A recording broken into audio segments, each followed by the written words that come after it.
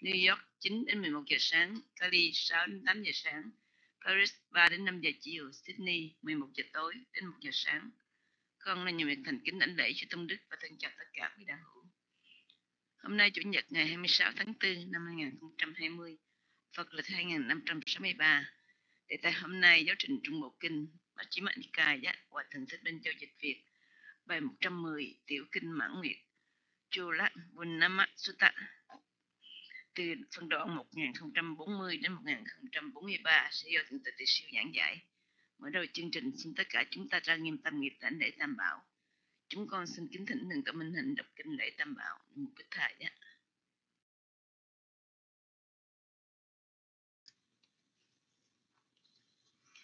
Nhất tâm đảnh lễ Đức Như Lai, bậc ứng cúng chánh biến tri, minh hành túc thiện thệ thế gian giải vô thượng điều ngự, thiên nhân sư, Phật, Thế Tôn. Nhất tâm đảnh lễ chánh pháp do Phật thiện thuyết, thiết thực hiện tiền, vượt ngoài thời gian, đến để chứng nghiệm hiệu năng hướng thượng, trí giả thân chứng. Nhất tâm đảnh lễ chư tăng đệ tử thế tôn, bậc hạnh như lý hạnh chân chánh hạnh gồm bốn đôi tám vị đáng nhận lễ phẩm tặng phẩm tế phẩm kính lễ là phước điền vô thượng trong đời nguyện cầu với Phật bảo, nguyện cầu với Đức Pháp bảo, nguyện cầu với Đức Tăng bảo. Xin Tam Bảo gia hộ ngăn ngừa mọi tai ương, những hiện tượng bất tường, những mộng mỹ sâu xa, những nghịch duyên trở ngại, thải đều mau tan biến. Con loài chúng sanh, người khổ xin hết khổ, người sợ hết sợ hãi, người sầu hết sầu, bi biết cho với niềm tin, biết hỗ trì giới hạnh, biết lạc tru trong thiền. Chư thiên đã vân tập xin tùy hỷ phước lành được các tường như ý rồi phản hồi thiên sứ. Chư toàn giác đại lực, chư độc giác đại lực, thinh văn giác đại lực, nguyện tổng trì uy đức, cầu phúc lành phát sanh.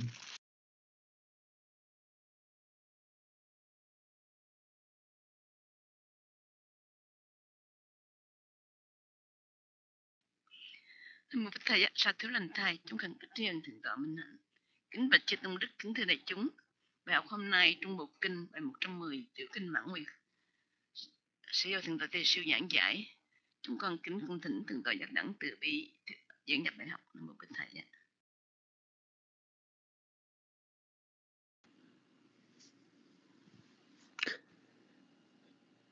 Nam mô Bích Thầy ạ. Kính đại sư toàn Từ Siêu đây là chư Tôn Đức thân chào tất cả quý Phật tử.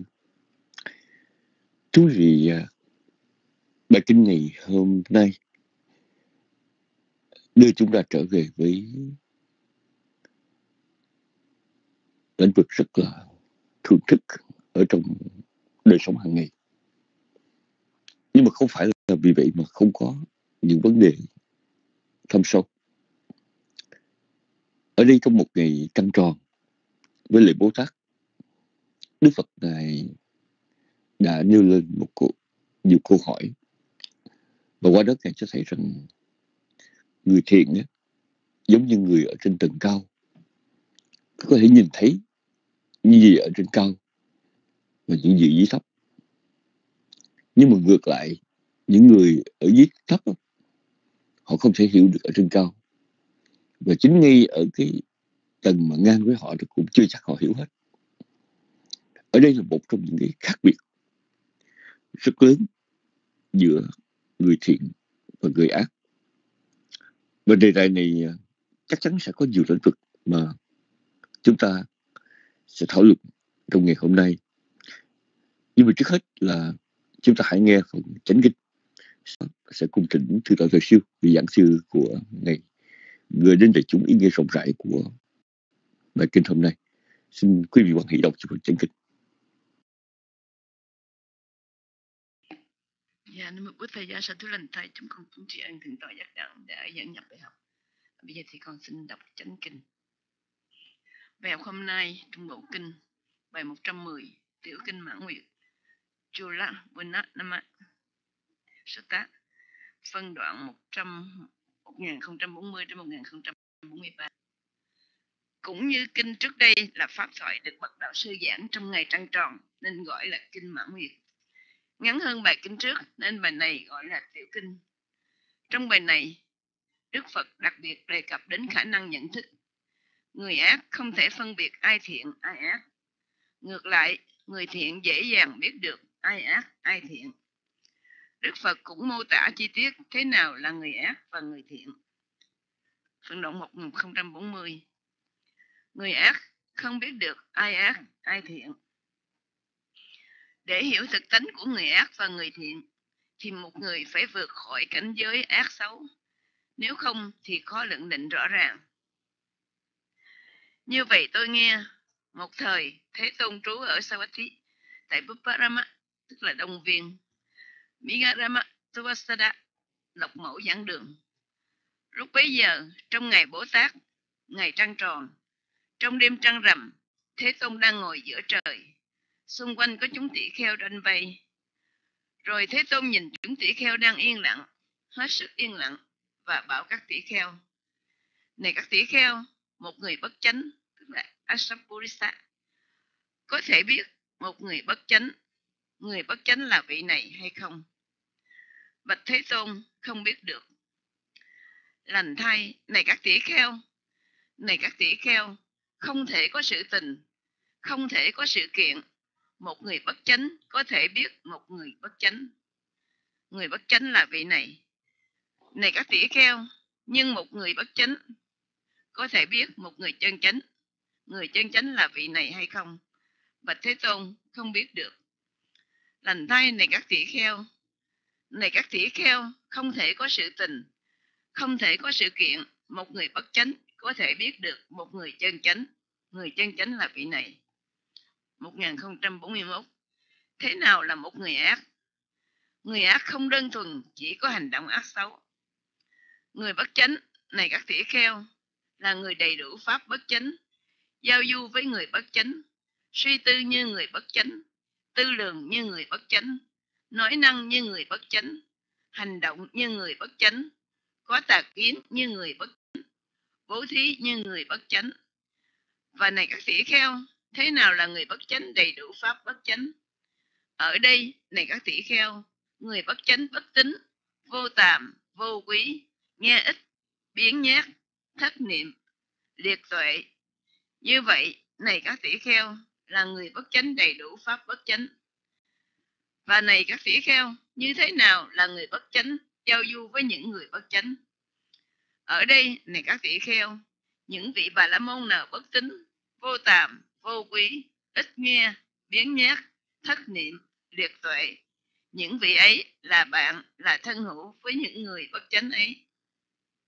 Như vậy này các tỷ kheo, là người bất chánh, giao du với người bất chánh. Và này các tỷ kheo, như thế nào là người bất chánh, suy tư như người bất chánh? Ở đây, này các tỷ kheo, người bất chánh suy nghĩ tự làm hại mình, suy nghĩ làm hại người khác, suy nghĩ làm hại cả hai. Như vậy, này các tỷ kheo, là người bất chánh, suy tư như người bất chánh.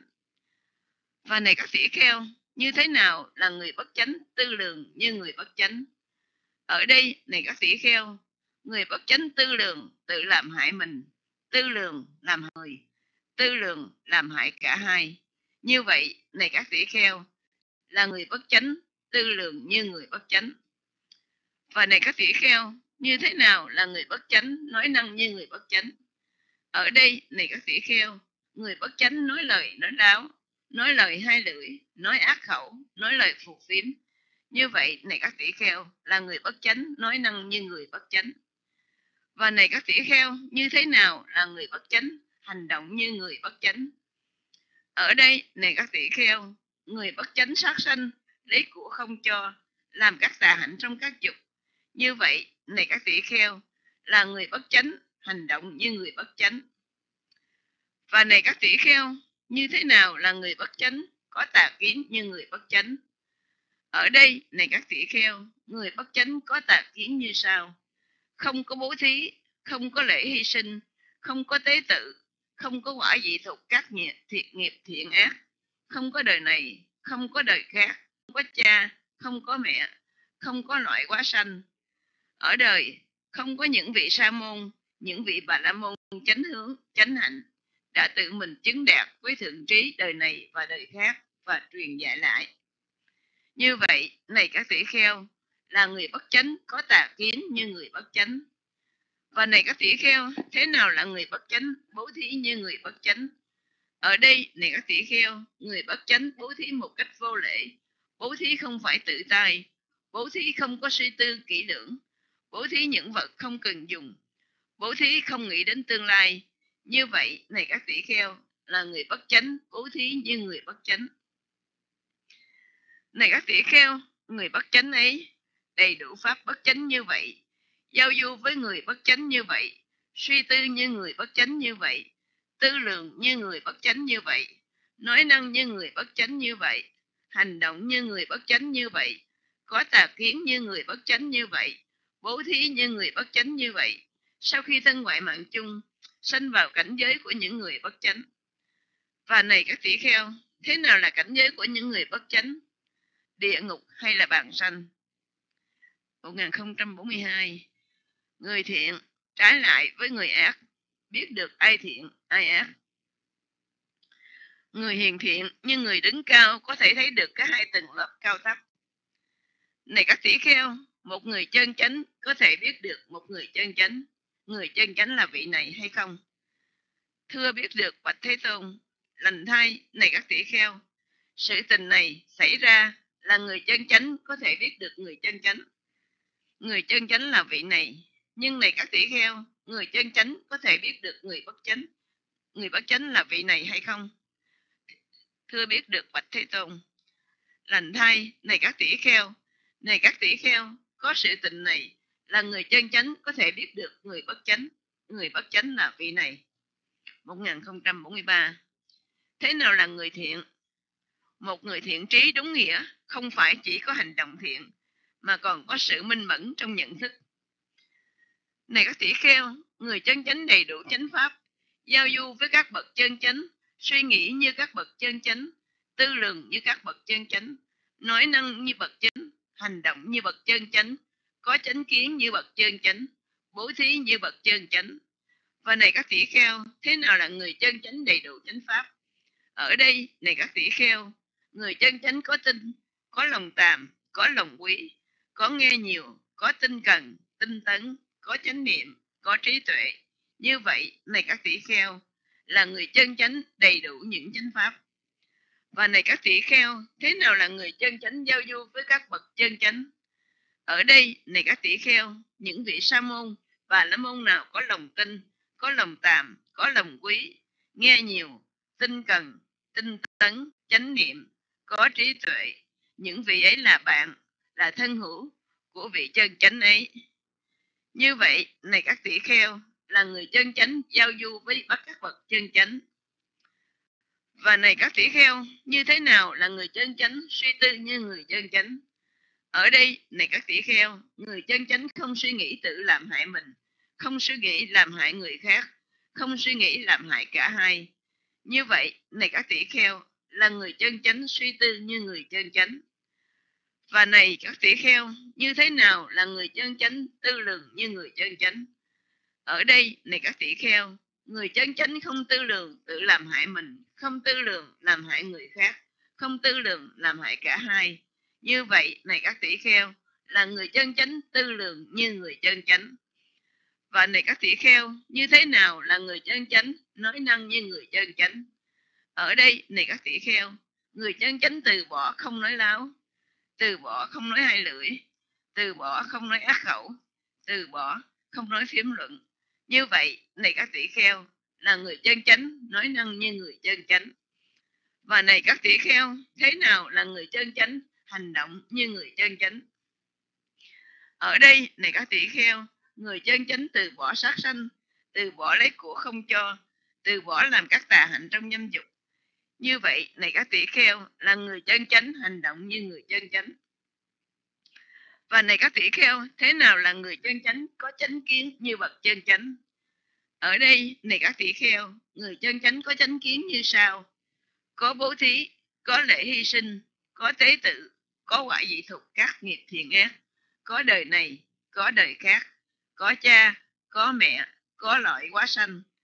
Ở đời có những vị sa môn, những vị bà la môn chánh hướng, chánh hạnh đã tự mình chứng đạt với thượng trí đời này và đời khác và truyền dạy lại. Như vậy, này các tỷ kheo, là người chân chánh có chánh kiến như người chân chánh. Và này các tỷ kheo, thế nào là người chân chánh? Bố thí như người chân chánh ở đây, này các tỷ kheo, người chân chánh bố thí một cách lễ độ, bố thí với tự tay bố thí có suy tư kỹ lưỡng, bố thí những vật cần dùng, bố thí có nghĩ đến tương lai. Như vậy, này các tỷ kheo, là người chân chánh bố thí như người chân chánh. Này các tỷ kheo, người chân chánh ấy đầy đủ chánh pháp như vậy, giao du với người chân chánh như vậy, suy tư như người chân chánh như vậy, tư lượng như người chân chánh như vậy nói năng như người chân chánh như vậy, hành động như người chân chánh như vậy, có chánh kiến như người chân chánh như vậy, bố thí như người chân chánh như vậy. Sau khi thân ngoại mạng chung, sanh vào cảnh giới của những người chân chánh. Và này các tỷ kheo, thế nào là cảnh giới của những người chân chánh? Đại tánh của chư thiên hay đại tánh của loài người? Thế tôn thuyết giảng như vậy, các tỷ kheo quan nghĩ tính họ lời thế tôn dạy chánh kinh đến đây đã chấm dứt. Chúng con cũng thỉnh thượng tọa siêu từ bi thuyết giảng bài học. Nam mô bổn thầy. Ạ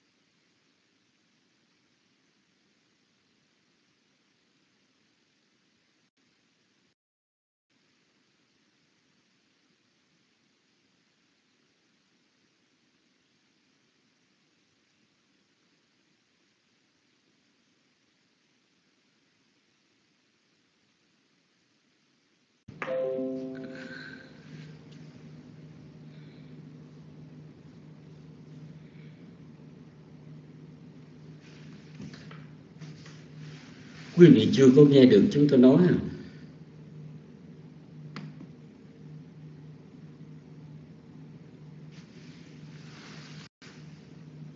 có người nghe, người không nghe vậy làm sao đây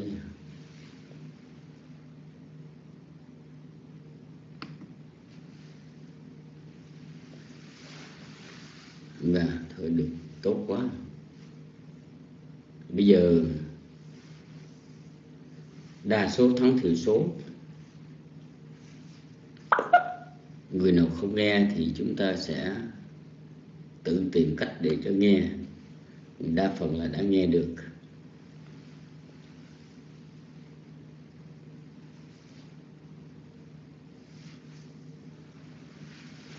Nam mô bổn thầy nam mô tham ma nam mô sang khai kính lễ đức phật lễ giáo pháp chư thịnh văn đệ tử phật. Kính chào chư tôn đức, thân chào tất cả quý tu nữ, quý phật tử. Kính bạch quý ngài kính thưa quý vị, hôm nay chúng ta học um, một bài kinh cũng mang là quân nắm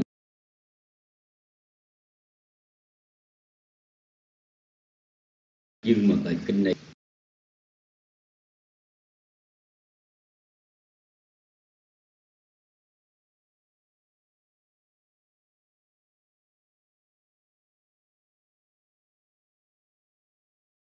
do cắn Phật này cũng Bồ Tát rồi gần thành sau thi.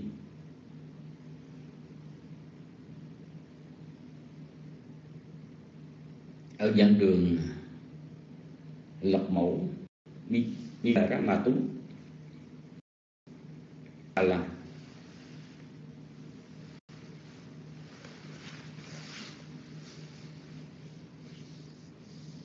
ở tại số thi ờ, thành sát vệ có hai ngôi chùa. Một là cái ngôi chùa của cấp cô độc, kiến tạo, gọi là chia tô ná kỳ viên.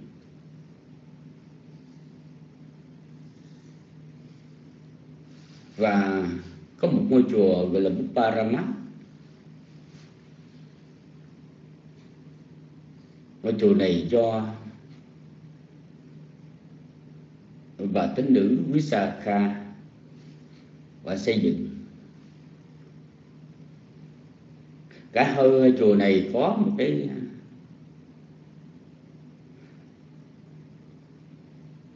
sự kiện rất đặc biệt.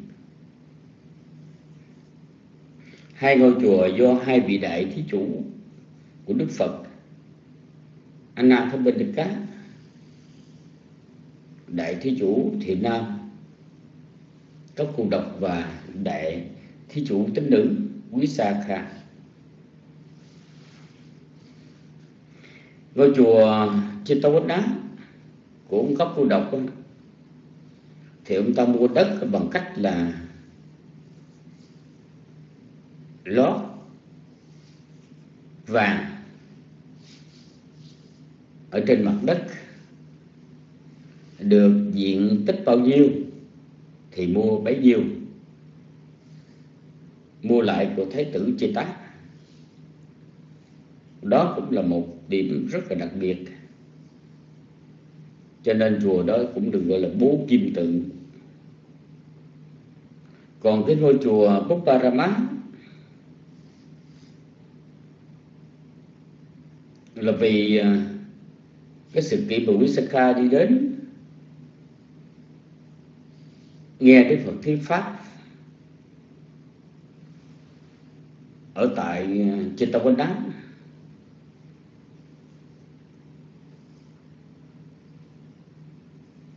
trước đó khi mà gần đến chùa bà mới suy nghĩ thật không phải lẽ nếu đi vào đánh lễ Đức Thế Tôn và nghe Pháp mà mặc cái áo choàng cực kỳ sang trọng này thì nó không có hợp lẽ. Cho nên bà mới giao chiếc áo choàng đó cho cái người người hầu.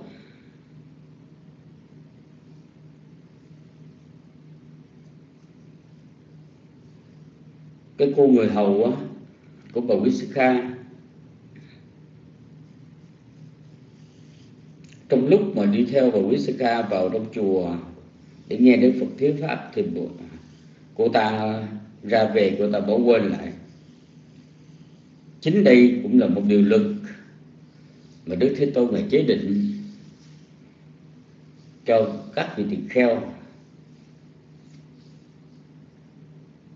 và tôn giả Nanda sau khi được Đức Thế Tôn ngài quy định cái luật rồi cho phép, nếu như mà cái vật quý giá mà người ta bỏ quên ở trong chùa, trong tỉnh thất, tỉnh sáng vị tỳ kheo nên nhặt với suy nghĩ rằng nếu cái này của ai, thì người đó sẽ đến nhận lại.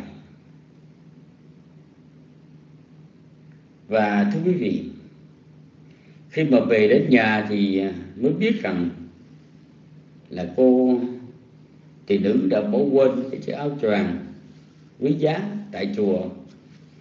Thì bà Wiska dặn đi đến chùa để nhận lại. Nếu như còn để yên đó thì mang về còn nếu như có một vị tỳ kheo nào đã dọn dẹp lấy cất á, thì chớ có mang về. À, khi đến được biết là tôn giả Ananda đã dẹp cất bà Visakha và mới đến và bà không lấy lấy lại và bà xin phép bán chiếc áo choàng này để lấy tiền cất chùa. Thì khi đó, khi mà bà rao bán, thì cả cái thành phố sau khi không ai có đủ sức, có đủ tài sản để mua nổi chiếc áo choàng của bà. Do vậy, đích thân bà bỏ ra cái số tiền tương đương để bà mua lại chiếc áo choàng của của mình và dùng cái số tiền mua áo choàng đó bà mới xây dựng cái ngôi chùa Bopparama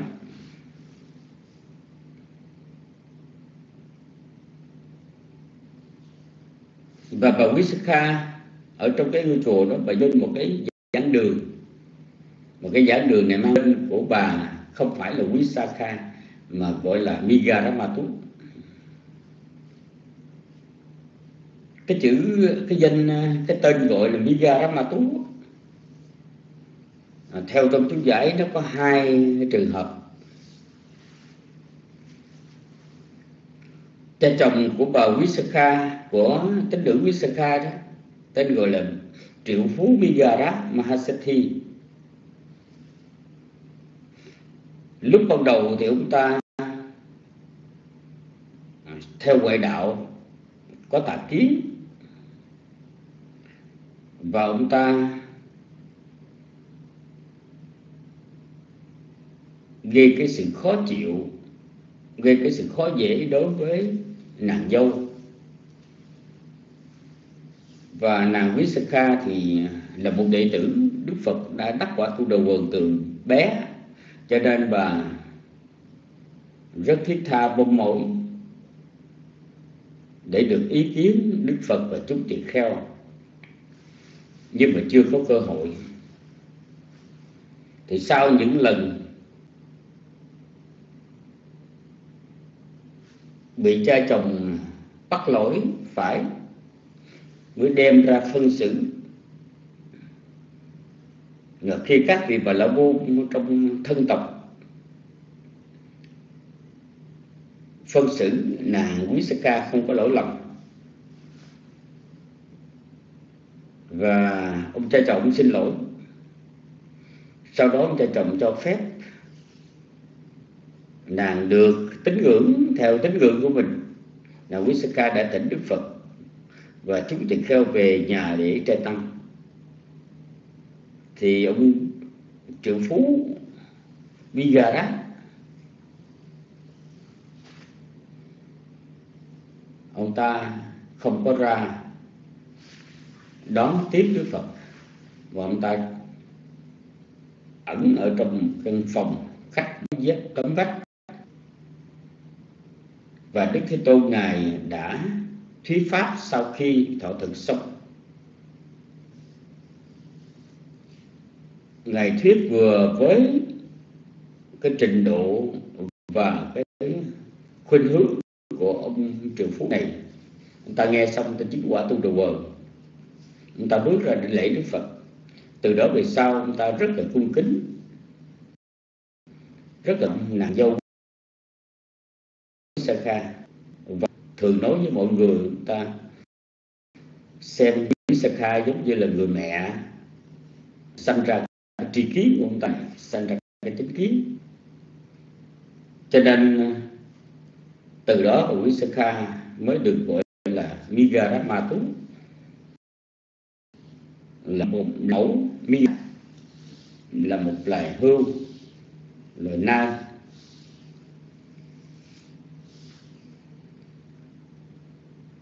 Nhưng cũng có một cái truyền thuyết rằng khi mà nàng Visakha với chồng của nàng sanh đứa con trai đầu lòng đó, và đứa con trai đầu lòng đó gọi ông triệu. Migara là ông nội.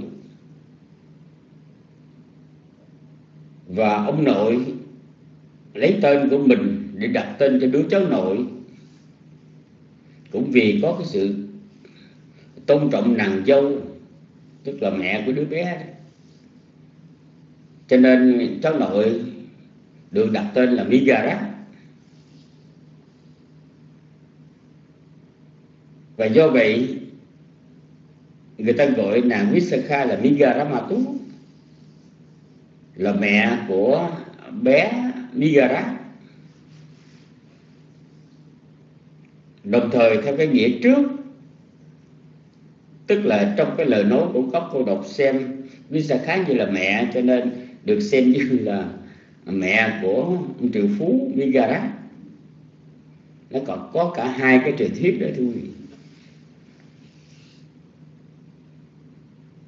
Thì ờ, ở tại đồng mẫu dẫn đường này vào cái đêm trăng rằm gọi là Punami là ngày trăng tròn đủ lối mùng cho đến 14 đó, thì trăng còn khuyết.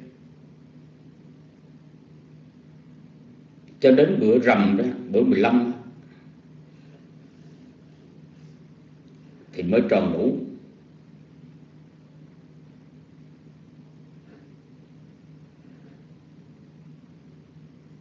thì trong cái ngày ờ, trăng này nhân cái lễ bố tát Uposatha các vị tỳ kheo tụ họp lại. Và Đức Thế Tôn đã thuyết hai bài kinh là bài kinh uh, Maha Punamasutta và bài kinh này được gọi là Chula Punnamasutta Mãn Nguyệt, Đại Kinh và Mãn Nguyệt Tiểu Kinh.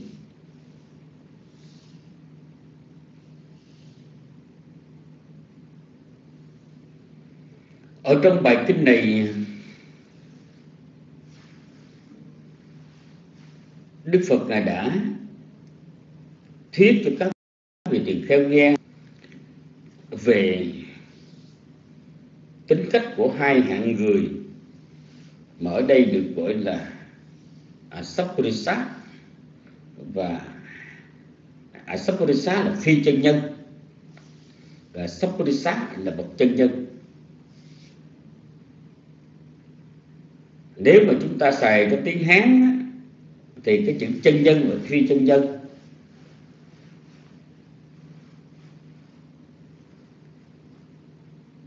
Chúng ta sẽ uh, khó hiểu hoặc là chúng ta hiểu một cách quá nghiêm túc cho nên nó bị lạc đi.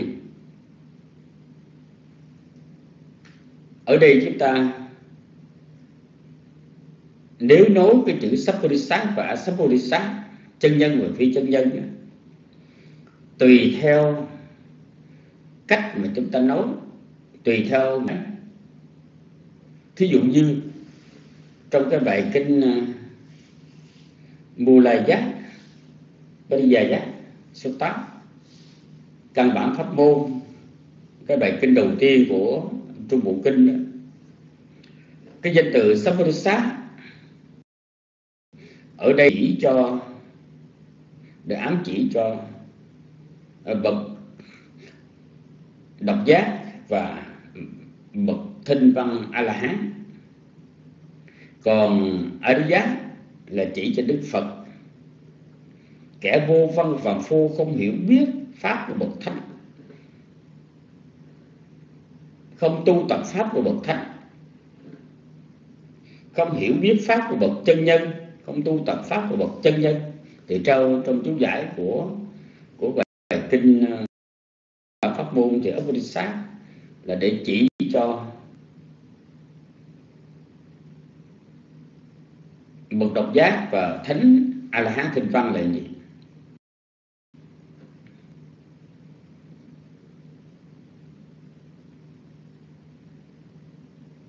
Nhưng mà thông thường chữ Sampurisa để gọi là Sampurisa thì à, ở đây, cái chữ Sampurisa chúng ta xài trong cái nghĩa thông thường là cái người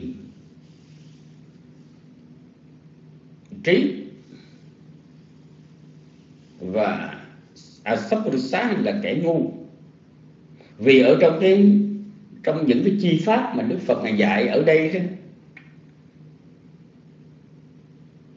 là lấy theo là có những chi pháp nó trùng với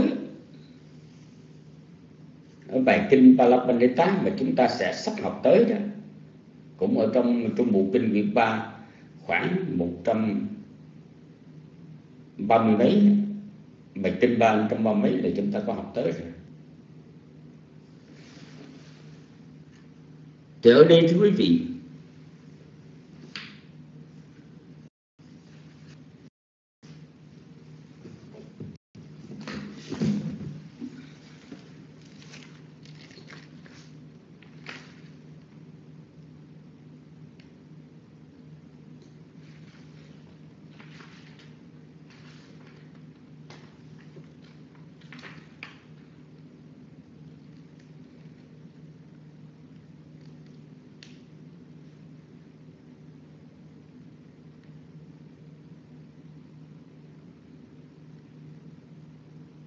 một trăm chín, bài kinh một trăm chín, là chúng ta học.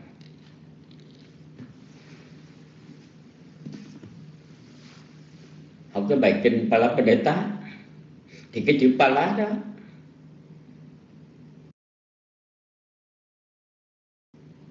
Ngài nói có ba cái đặc tướng, đặc tính, đặc ấn của kẻ ngu. Là thân hành ác, khổ hành cái hành ác. Thì như vậy nó trùng với bài kinh hôm nay tức là về cái hành động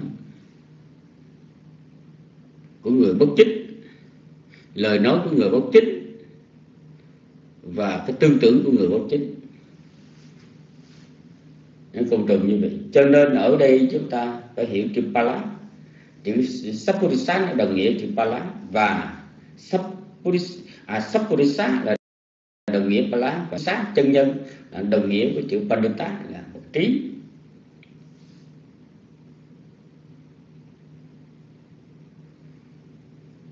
Nhưng mà trong một cái nghĩa khác nữa là chúng ta có thể nói à, sapurisa tức là nói kẻ ác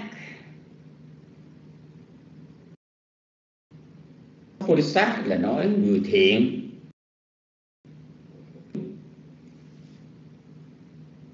Còn ở đây, trong cái bản dịch thì gọi là người bất chánh và cái người chân chánh.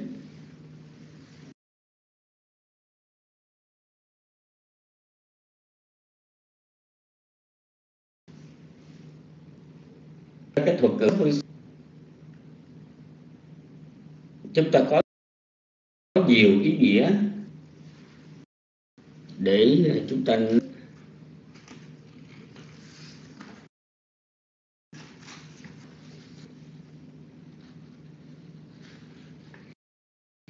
trong cái bài ờ,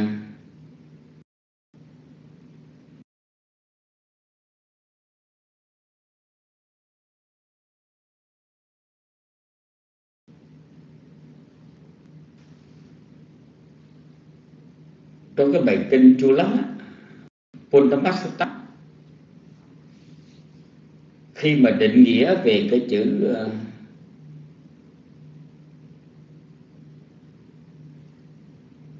uh, Sapurisa à, Sapurisoti Papa Puriso tức là người ác. Trong cái nghĩa người ác. Thì như vậy chúng ta phải hiểu ngược lại đó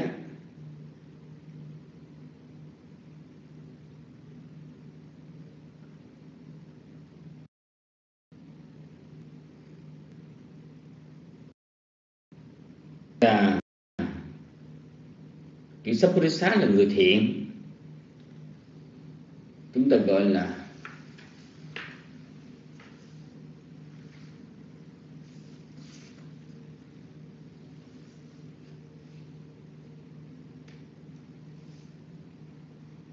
Kusala Puriso.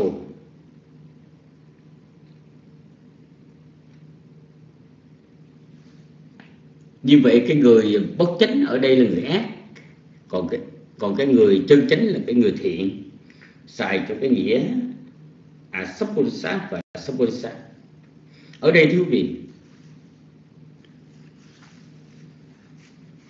khi nói đến người ác, thì đức phật ngài à, dạy có bảy khía cạnh. Chứ người ác không đơn thuần chỉ có hành động ác xấu. Hành động chỉ là một trong bảy khía cạnh đó thôi.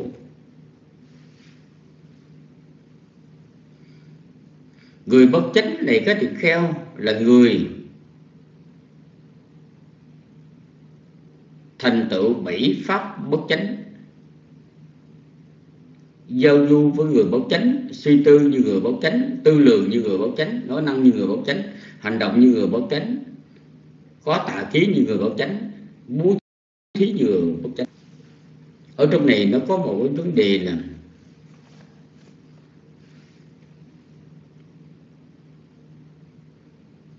suy tư như người bảo chánh, tư lượng như người bảo chánh. Cái chữ chinh ti. Chinh ti tí. À sắp sát chinh ti. Được dịch là, ở trong bản kinh này dịch là suy tư như người bảo chánh. Và à, asabodhisa manti tức là tư lượng như người bảo chánh. Cái chữ suy tư và tư lượng đó, thì gần như là nó bị trùng trùng nghĩa với nhau. Nhưng ở đây đó, thì à, cái này ở trong chú giải thì cũng không có giải thích cái sự khác biệt giữa cái suy tư và tư lường, chinh ti và man ti mà chỉ nói đến cái ý nghĩa chung chung. Chú giải bài kinh này rất ít, thưa quý vị.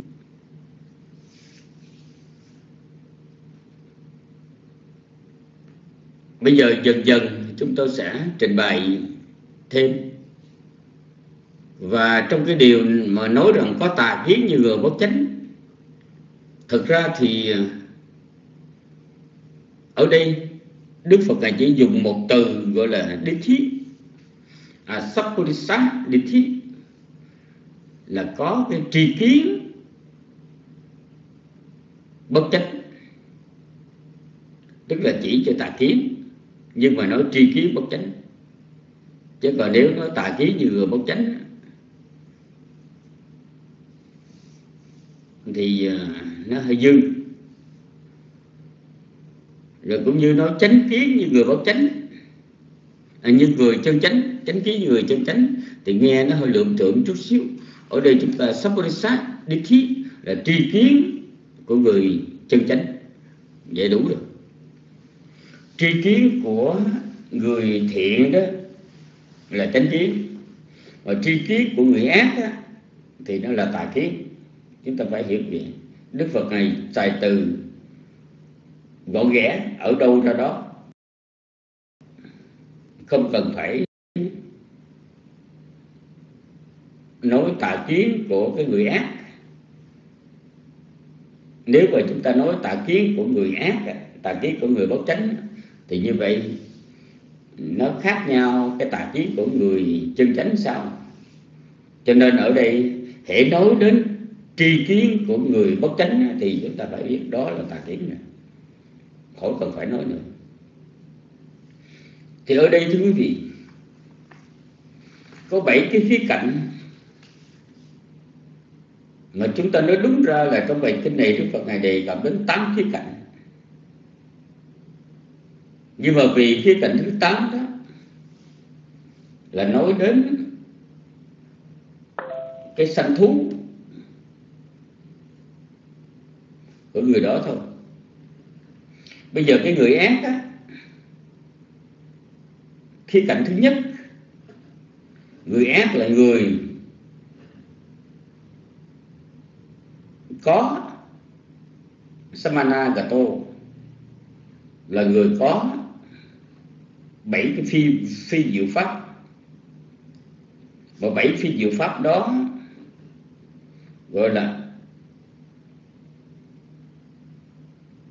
sắp tham bát asap tham bát bảy phi diệu pháp. Là không có niềm tin. Không có lòng tàm, không có lòng quý. Tức là không biết hổ thẹn, không biết ghê sợ tội lỗi. Nghe ít, tức là dốt nát. Không có hiểu chánh pháp nghe ít biến nhát, thất niệm diệt tuệ. Bất tính vô tàm vô quý. Thiểu văn. Biến nhát, thất niệm, liệt tuệ. Thì trước tiên là đức phật ngài nói đến cái người ác là cái người có bảy cái phi diệu pháp.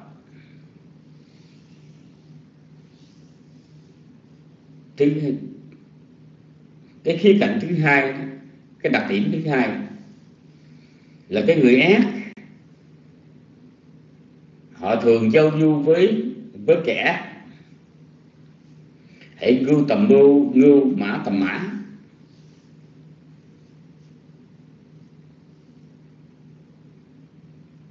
Người ác thì thường chơi với những người xấu cũng như họ vậy. Những người xấu là người như thế nào?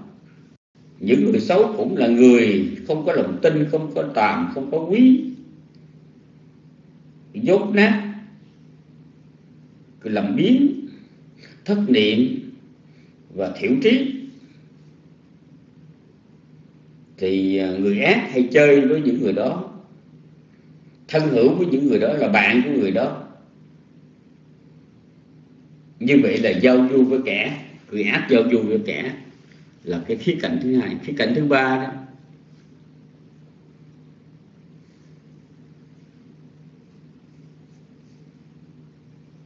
là cái người bất chính. Họ có cái suy tư của người bất chánh ở đây chúng tôi không có chúng tôi không có đọc y chang. Chúng ta chúng tôi không có đọc giống như là ở trong cái bài, trong cái bài dịch.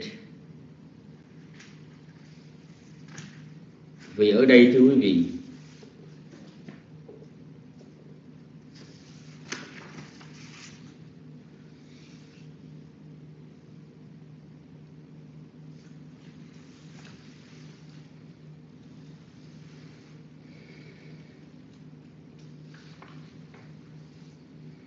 cái gọi là à, Sappurisa Chinti ở đây không phải là suy tư như người báo chánh.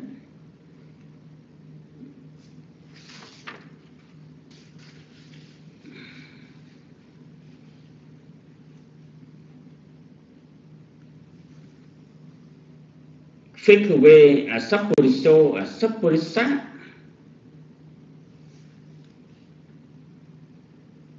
Chinh ti, Hồ tí Ở đây này cái từ kheo, Người bất chánh. Có suy nghĩ của người bất chánh, Hay là người ác có suy nghĩ của người bất chánh. Cái suy nghĩ của người bất chánh là như thế nào? Cái suy nghĩ của người bất chánh là suy nghĩ đến cái việc mà tự làm hại mình, suy nghĩ đến làm hại người khác, suy nghĩ đến làm hại cả hai.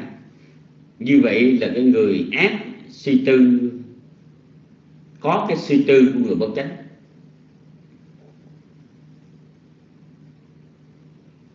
Và kế tiếp là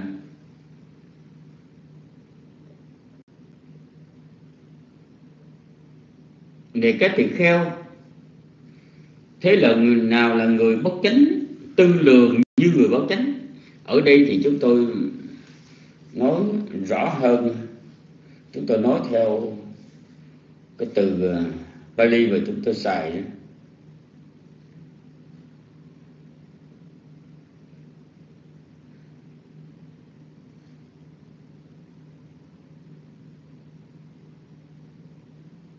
Katanjak fikawe asapriso asaprisa manti hoti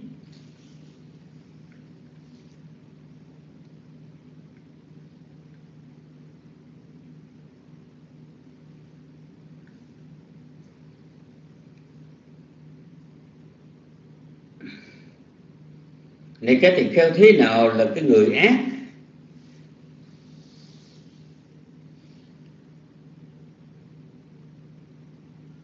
Có cái quan niệm của người ác. Chữ manti ở đây chúng tôi xài cái chữ chữ quan niệm.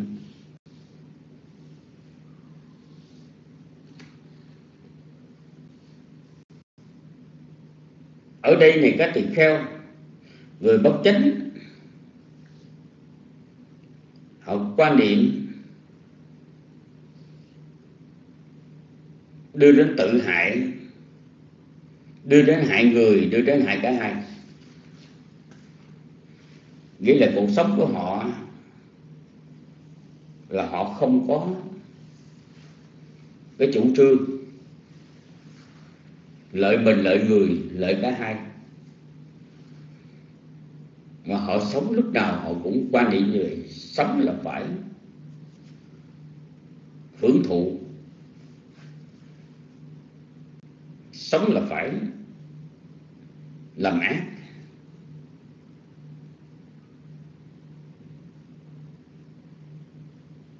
Và họ sống quan điểm là sống là phải trôn dập người khác. Cho nên cái quan điểm cái quan niệm của họ như thế. Để nó khác đi cái chữ uh, suy nghĩ và cái tư lượng mặc dù cả hai ý nghĩa thì giống nhau. Nhưng mà chúng ta nên biết một cái là suy nghĩ một cái là chủ trương. Một cái suy nghĩ một cái chủ trương. Cái suy nghĩ đó chúng ta xài cho cái chữ sắc sát hay là mạnh ti à, chinti. Còn cái à, sapodisat manti đó chữ manti thì chúng ta xài cái nghĩa gọi là chủ trương chữ manti nó có nhiều nghĩa lắm chứ quý vị. Nhưng mà chúng ta xài cái nghĩa để được.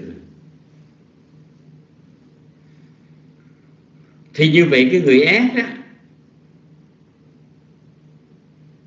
họ chỉ suy tư,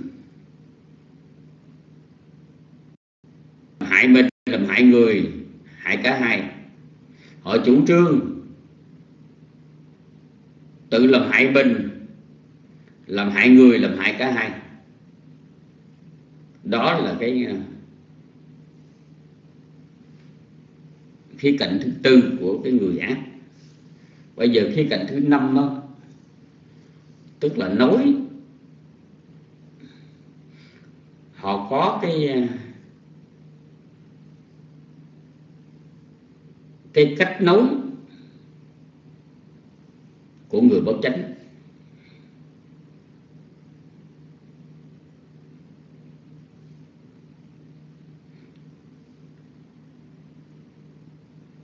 Vậy bà này các tỳ kheo thế nào là người bất chánh nói?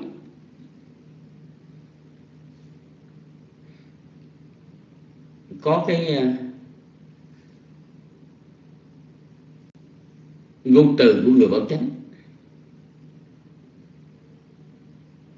Ở đây này các tỳ kheo người bất chánh, tức là người ác.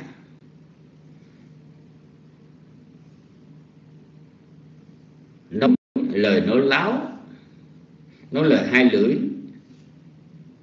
nói lời ác khẩu nói lời phụ phiếm. Tức là cái người ác à,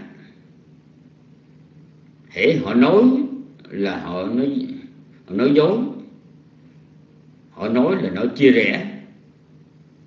Nói là nói độc ác. Nói là nói vô ích.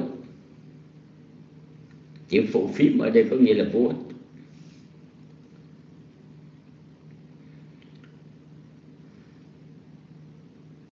Cái khí cạnh sáu là cái người ác họ có cái hành động, họ có hành động của cái người bất chánh. Cái hành động của người bất chánh là thế nào? Tức là sát sanh, lấy của không cho, tức là trộm cướp,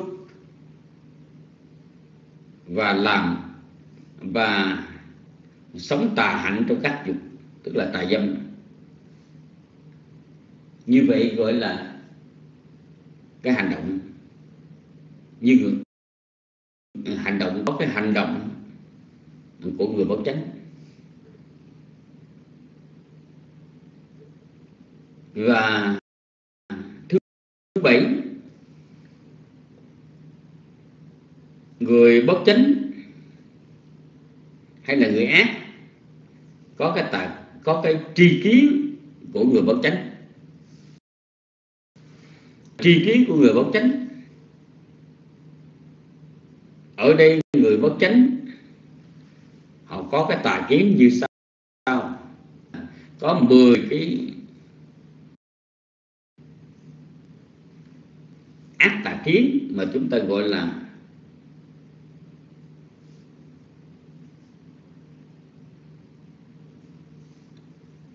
nativity là vô hữu kiến.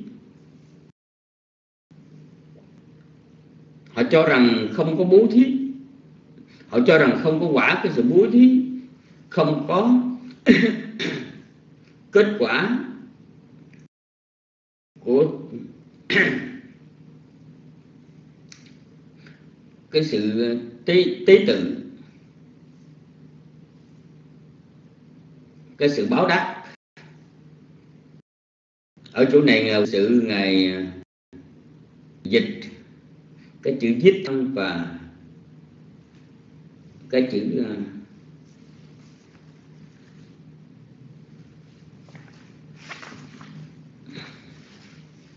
ở đây dịch là tế tự chứ thân là tế tự.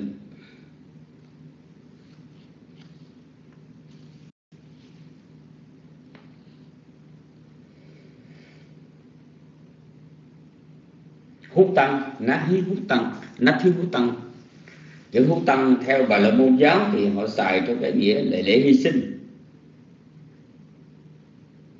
Nhưng mà ở đây ngài hòa thượng thực sự ngài xài cái cái, cái nghĩa hú tăng dịch theo cái bản dịch thái đó. Thì có không có nghĩa là cái sự cái sự à, đáp ơn cái sự đáp ơn. Như là đáp ơn cha mẹ chẳng hạn hay là cái sự trả ân đối với người đã thi ân đến mình? Người người ác thì họ không có chịu họ không có chấp nhận vậy họ nói có gì mà, mà phải ờ, phải trả ơn vân vân. Họ không thực làm. Không có quả gì thuộc các thiện của các nghiệp thiện ác. Không có đời này không có đời khác. Cha mẹ không có ân đức, không có vậy quá sanh. Ở đời không có những sa môn và la môn. Tu hành, chứng đắc cái gì cả. Thì như vậy được gọi là tri kiến của cái người người ác nói cách khác, tức là người ác họ không có tin về cái tội phước. Không có tin cái hiếu đạo hay là không có tin sống đạo đức có kết quả. Họ không có tin cái đời sống đạo đức có kết quả. Thì cái tri kiến đó của người ác được gọi là, được gọi là tà kiến. Và cuối cùng thì đức phật à, mới dạy rằng là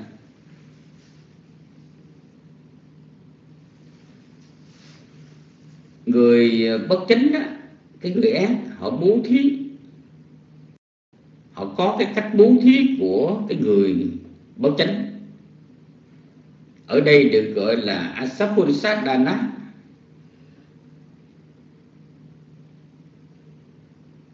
là bố thí của hạng phi chân nhân đó. Cái này ở trong tăng chiều kinh có đề cập đến. Họ cho không có sự tôn trọng.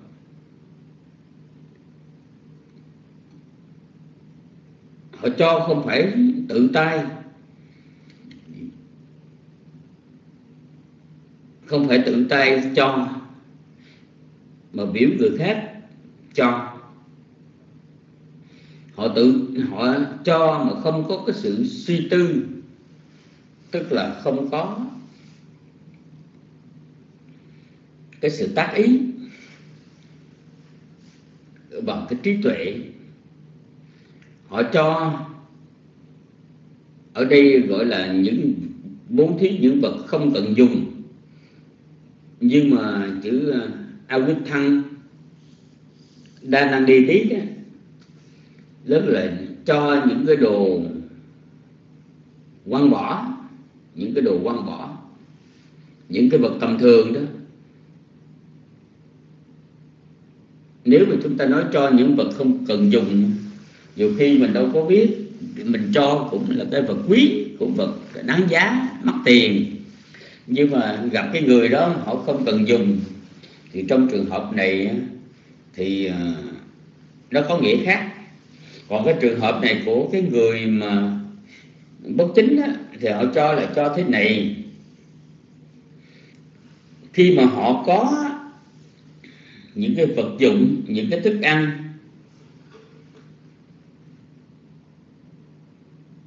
Khi mà họ đang ăn, họ không có bố thí, không có cho. Đến chừng mà nó thừa bữa mà nó thiêu, nó hư, nó quá đắt rồi đó, xài không được nữa rồi đó. Thì lúc bây giờ, cái họ mới đem cho người khác. Giống như là hào sản rộng rãi nhưng mà thực ra thì họ cho cái kiểu đó, không ai dùng được hết, không ai ăn được hết. Họ cho đồ bỏ. Thì chúng ta phải hiểu trong cái cách cho của cái hạng phi chân dân là cho như vậy đó.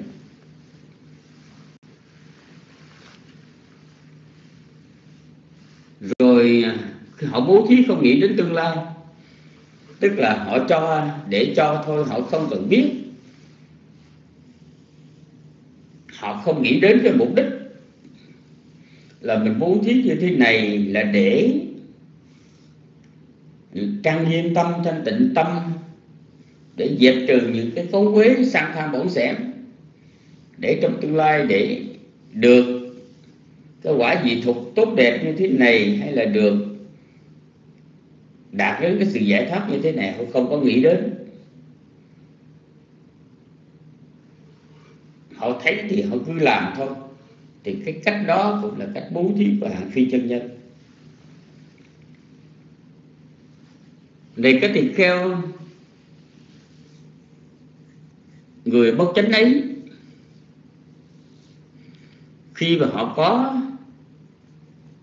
bảy cái này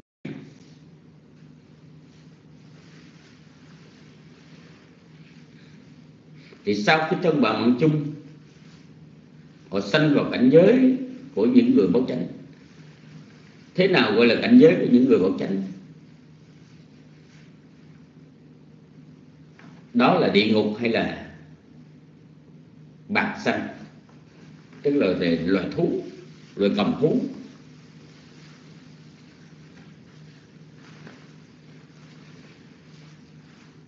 Thì ở đây đó khi mà chúng ta nói đến cái ý nghĩa về hạng người ác hạng người phi chân nhân đó, đã được Đức Phật ngài giải thích cho các tỳ kheo nghe hạng người đó. Ở trên bảy cái khía cạnh họ đều xấu.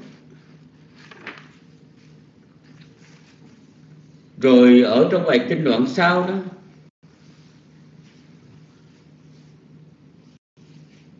Đức Phật ngài à, nói đến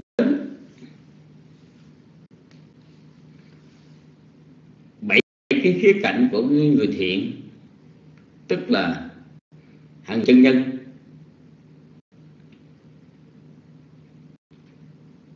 Người thiện là người có được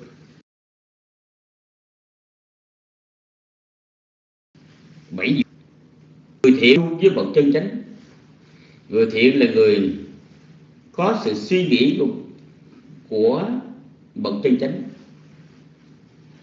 Có chủ trương của bậc chân chánh.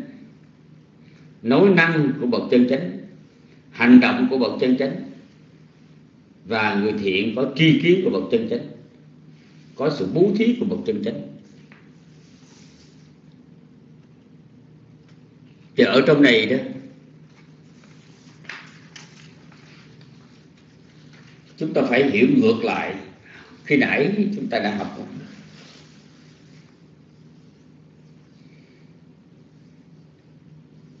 Được gọi là có đầy đủ bảy nhiều pháp là có lòng tin, có lòng tàm, có lòng quý đa văn. Tinh cần tinh tấn có chánh điện có trí tuệ. Như vậy là cái người thiện có bảy dục.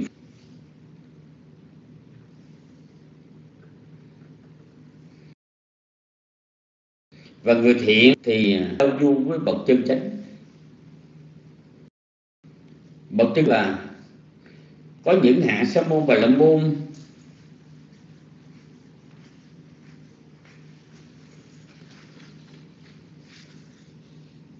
Có lòng tin, có lòng tàm, có lòng quý, đa văn. Tinh tấn chánh niệm trí tuệ. Thì người thiện, kết bạn với những vị ấy, thân hữu. Với vị ấy như vậy được gọi là cái người chân chánh giao du với người chân chánh.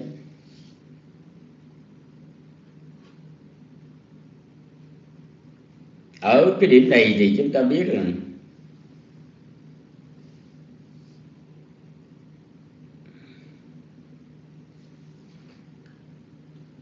có cái sự thuận dòng.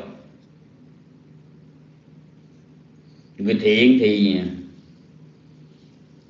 thích chơi với người thiện. Còn người ác thì thích chơi với người ác thôi.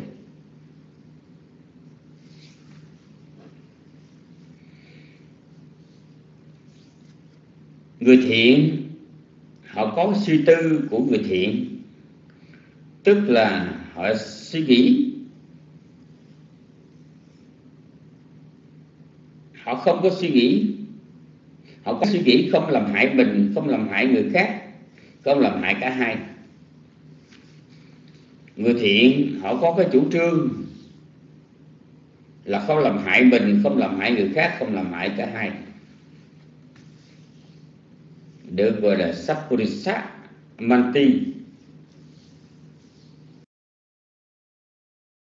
Người thiện, nói lời nói của người chân chánh tức là nói chân thật, không nói láo. Nói hòa hợp, không nói đâm thọc. Nói lời dịu ngọt, không nói lời ác độc. Đủ ích nói lời vô ích, phím luận. Như vậy gọi là người thiện nói cái lời nói của người chân chánh. Người thiện có hành động của người chân chánh tức là từ bỏ sắc sanh, từ bỏ trộm cắp, từ bỏ tà dâm.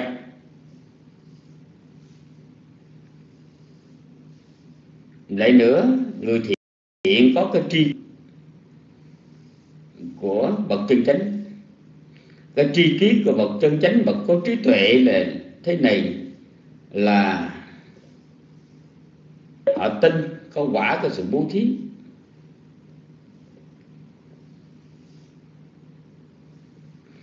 Họ tin. Có quả tí tự họ tin có quả của sự đáp ân. Tin có quả diệt thuộc các nghiệp thiện ác. Họ tin có đời này, tin có đời sau. Tin có ân đức cha, có có ân đức của mẹ. Họ tin có các loại quá sanh. Họ tin ở đời có những sa môn và la môn chân chính tu tập, chứng đạt.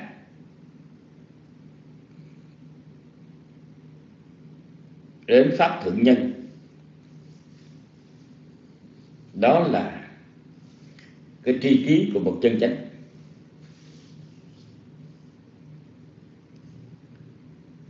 Và thế nào là người chân chánh bố thí? Của người chân chánh, có cái hạnh bố thí của người chân chánh. Hạnh bố thí của cái người chân đây là bố thí biết tôn trọng người người thọ thí. Họ cho với tự tay, cho có sự suy tư, cho những đồ, những vật mà đang dùng. Họ cho có nghĩ đến tương lai. Như vậy là người thiện có cái hạnh bố thí của cái bậc chân chính. Và ở đây có hai điểm mà chúng ta cần phải biết là thay vì nói ở đầu chúng tôi nói. Tức là khi chúng ta biết rõ về cái người ác và cái người thiện đó, thì có điều chúng ta chú ý. Cái người ác không biết được ai ác, ai thiện. Vì họ không có trí tuệ. Và bản thân của họ là cái người ác do đó cho nên họ không thể đánh giá được người khác. Họ không biết được cái người đó là người ác. Họ càng không biết được người đó là cái người thiện. Họ không biết được. Trong khi đó, thì cái người thiện, thì họ biết rõ về người thiện chỉ có bậc thiện bậc thiện là mới biết nhau thôi. Là bởi vì cái tâm tư của họ thanh tịnh, họ có trí tuệ, cho nên họ nhận xét được. Và ngược lại, người thiện, họ đánh giá được cái người ác. Bởi vì cái tâm tư của họ trong sáng, cho nên họ mới nhìn. Cũng như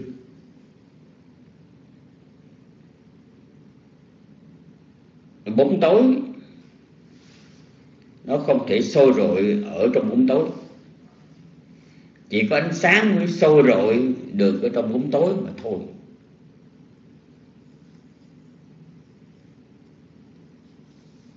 Ở trong trường hợp này chúng ta phải hiểu học hôm nay đó, nó tương đương với cái bài học mà chúng ta sắp học tới, tức là nói về hai hạng người, Palak và Pandita. Bài số 129 chúng ta sẽ học tới. Thì bây giờ chúng ta học trước cái bài này. Để đến bài 129 thì chúng ta sẽ học thêm nữa, nhưng mà ở đây đó, nó có cái khía cạnh khác. Là bài này Đức Phật ngài chỉ nói đến cái người thiện và người ác. Qua bảy cái đặc tính của họ thôi. Và cuối cùng thì ngài cho biết rằng sau khi tân quả mạng chung, cái người ác, họ có hai cảnh giới tái sanh là địa ngục và và bàn sanh. Còn cái người thiện đó, thì sau khi thân ngoại mạng chung họ có hai cái cảnh giới tái sanh. Là họ đạt đến cái tình trạng, cái trạng thái của chư thiên hay là trạng cái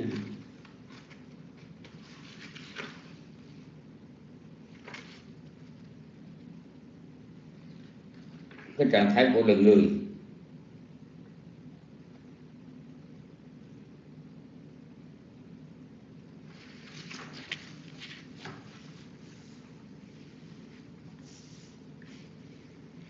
Họ sẽ sanh về cảnh giới chư thiên, sanh về cảnh giới của loài người. Đó là nội dung của cái bài kinh ngày hôm nay, bài kinh Chula Punama quân mát tăng. Mà chúng tôi vừa trình bày xong. Bây giờ thì ờ, phần thời gian còn lại chưa tăng.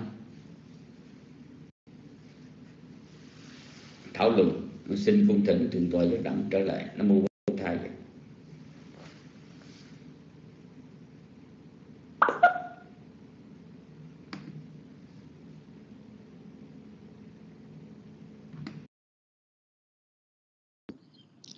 Sa thú kính chân từ tọa từ siêu. Bạch từ tọa từ siêu, eh, xin thỉnh từ tọa khoan hỷ trả lời dùm cho ba câu hỏi. Rồi sau đó thỉnh thượng tọa đi nghỉ, phần còn lại chưa đăng sẽ thảo luận.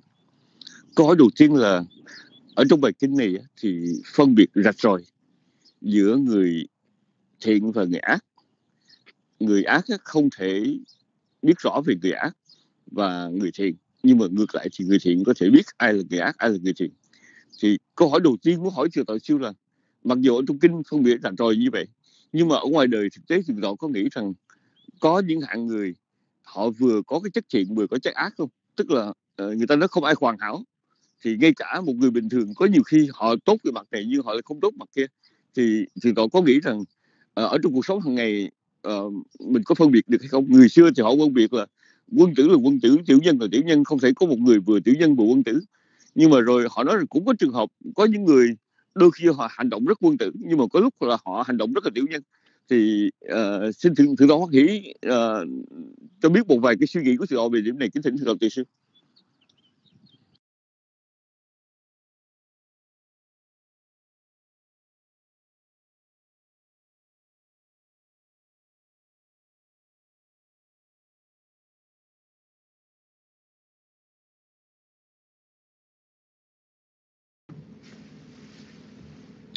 À, xin lỗi quý vị.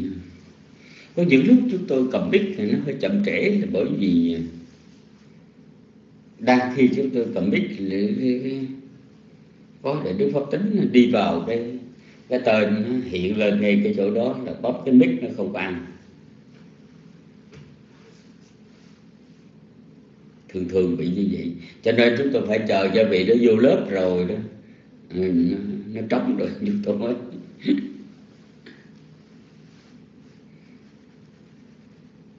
bây giờ, trong cái câu hỏi thứ nhất, thì ở đây, thưa quý vị,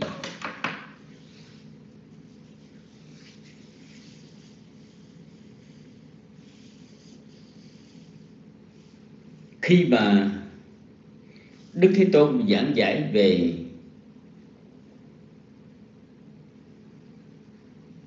cái đặc tính của người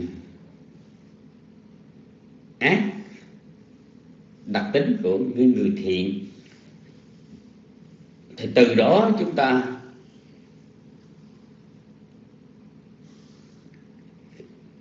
sẽ biết được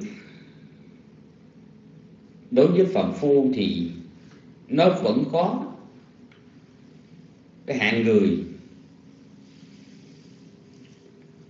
có thiện có có ác có. Vừa có thiện, vừa có ác. Chỉ có điều là tánh thiện nhiều, tánh ác ít. Hay là người tánh thiện ít mà tánh ác nhiều, chỉ có à, trên lệch với nhau chút vậy thôi.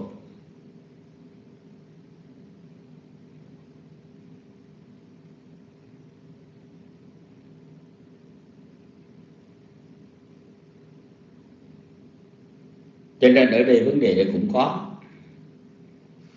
Rồi hỏi rằng là, như vậy ở đời có hạng người không thiện không ác chăng? Chúng ta cũng nói là có luôn. Người không thiện không ác, đạt đến cái cái trình độ này là chỉ cho bậc a la hán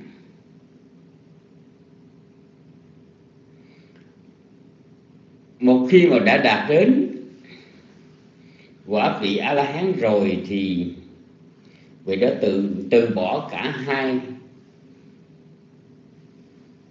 cái tánh thiện và cái tánh ác, bỏ luôn. Bởi vì cái phát thiện đó giống như là thuốc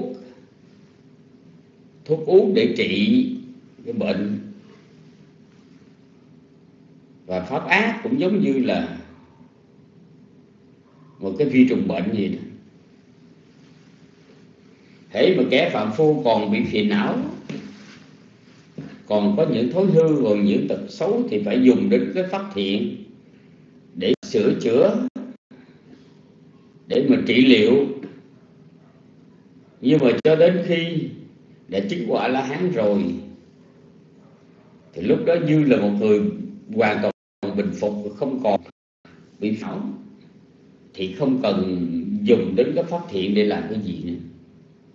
Cho nên đây là người mà không thiện không ác là như vậy.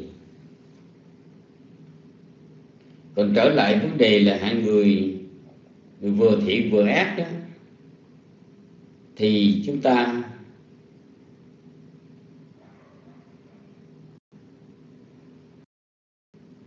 chúng ta trả lời có cái đời này khó xảy ra nhưng mà thứ hai nữa là chúng ta muốn nói đến hạng người vừa thiện vừa ác, thì cái cảnh giới tái sanh của họ là cái gì? Chúng ta nói hạng người vừa thiện vừa ác tùy xem coi bên nào nặng, bên nào nhẹ.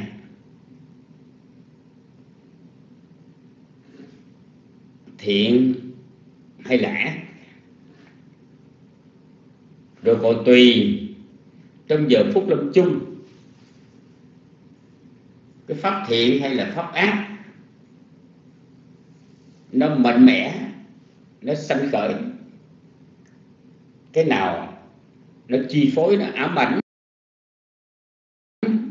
tâm chung, hoặc là thiện, hoặc là ác, thì cái sự tái sanh của người đó nó tùy theo cái cái mức độ ám ảnh đó chúng tôi xin được trả lời cái câu hỏi của thượng tọa giáo đẳng như vậy. Nam mô bổn thầy.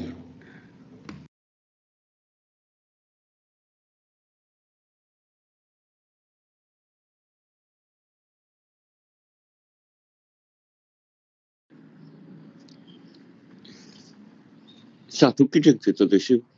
Mà thượng tọa sư, câu trả lời của thượng tọa sư dẫn đến hai câu hỏi nó nằm liên quan đến câu một thì nó thượng tọa quan hệ trả lời lại là thứ nhất đó, là thượng tọa nói cái người không thiện không ác đó, là là vị a la hán cái đó mình nói theo ý nghĩa tuyệt đối. Nhưng mà trong ý nghĩa tương đối á, thì có thể nào trong đời sống hàng ngày có những người họ không có sát sanh không trộm cắp không tà dâm nhưng mà họ cũng phải là người hiền trí gì. À, có chăng có hạng người như vậy? Tức là họ không phải là a la hán nhưng mà đời sống bình thường họ đó thì tương đối là mình không gọi họ là người thiện được mà cũng gọi là ngã có hạng người đó hay không.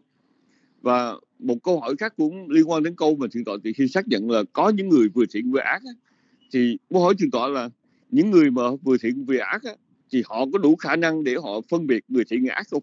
Họ biết được người thiện người ác như ở trong này không?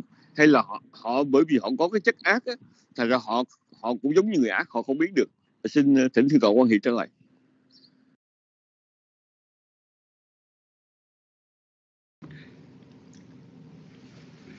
Trước tiên là chúng tôi xin ờ, trả lời cái câu hỏi ờ, thứ hai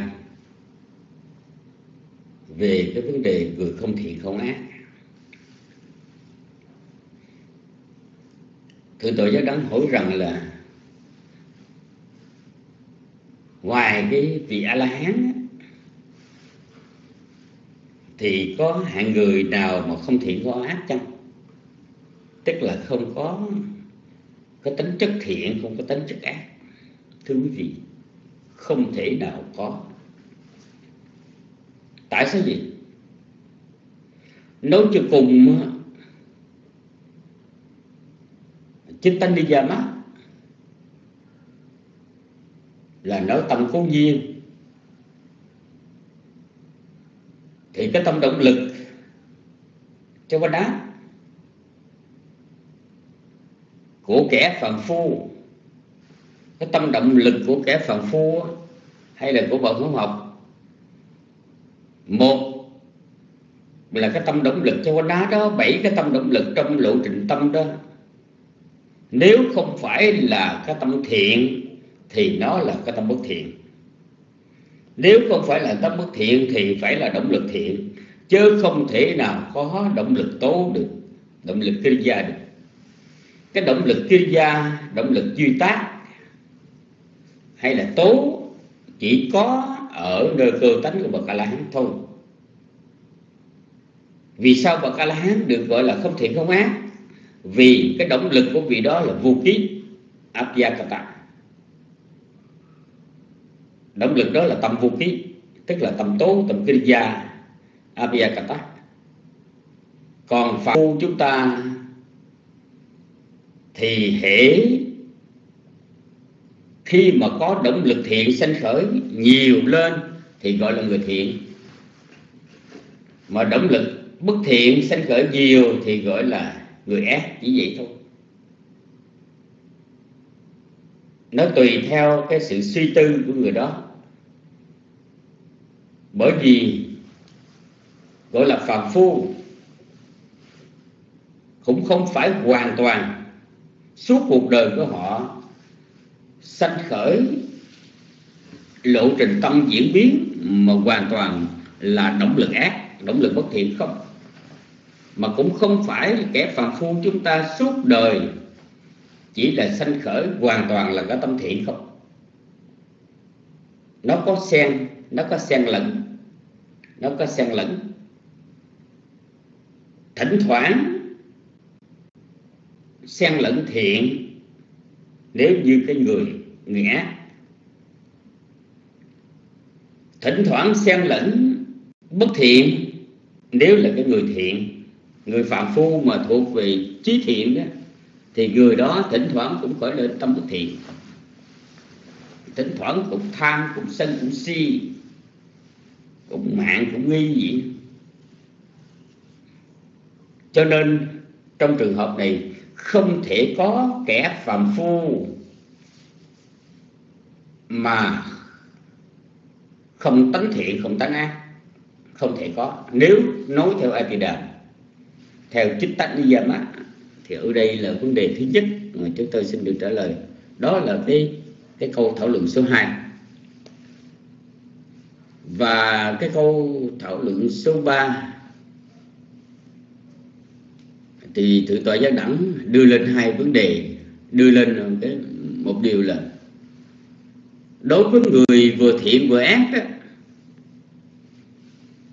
hay là người vừa ác vừa thiện thì người đó có thể biết được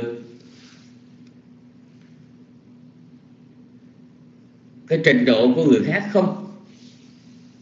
Thí dụ như người vừa ác vừa thiện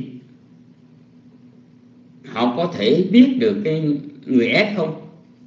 Hay là cái người vừa thiện vừa ác, họ có thể biết được cái người người thiện không? Thì ở đây chúng tôi xin thưa quý vị rằng là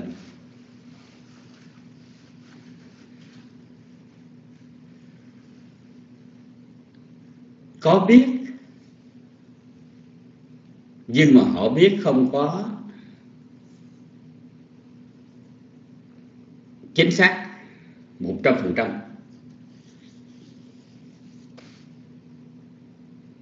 Một người mà bản chất của họ hung ác, nhưng mà họ cũng có một vài cái ưu điểm như là sống có nhân, có nghĩa, có lễ, có trí, có tính nhân nghĩa lệ trí tính những cái tên cướp đó, thưa quý vị, hay là những cái tên ờ, giang hồ hỉ mát đó. có đôi khi họ cũng đánh giá được người kia là cái người trung thành hay là cái người phản phúc họ có thể đánh giá được, đánh giá được đàn em dưới tay cũng như những người đó mặc dù gian ác, nhưng mà họ có khi họ cũng đánh giá được cái người tốt, người xấu. Đối với người tốt thì họ cũng kính phục, họ vẫn kính phục như thường. Mặc dù họ là một tay đại gian ác, nhưng mà họ có thể biết được người nào họ đáng để phục, thì họ phục. Đáng quy thuận thì họ quy thuận. Hay là những người nào không đáng quy phục, không đáng nể trọng thì họ không quy phục, không nể trọng. Thì như vậy trong trường hợp đó họ vẫn biết, nhưng mà cái biết đó họ giới hạn, vì họ chưa phải là thuần thiện nếu một người thuần thiện thì họ mới có thể đánh giá cao người người khác được, đánh giá chính xác người khác được. Còn nếu nếu mà họ còn bị xen lẫn bởi những cái ác pháp, những cái phiền não thì họ chỉ lượng ước một phần nào đó thôi. Chúng tôi xin được trả lời cái câu hỏi như vậy. Nam mô của thầy.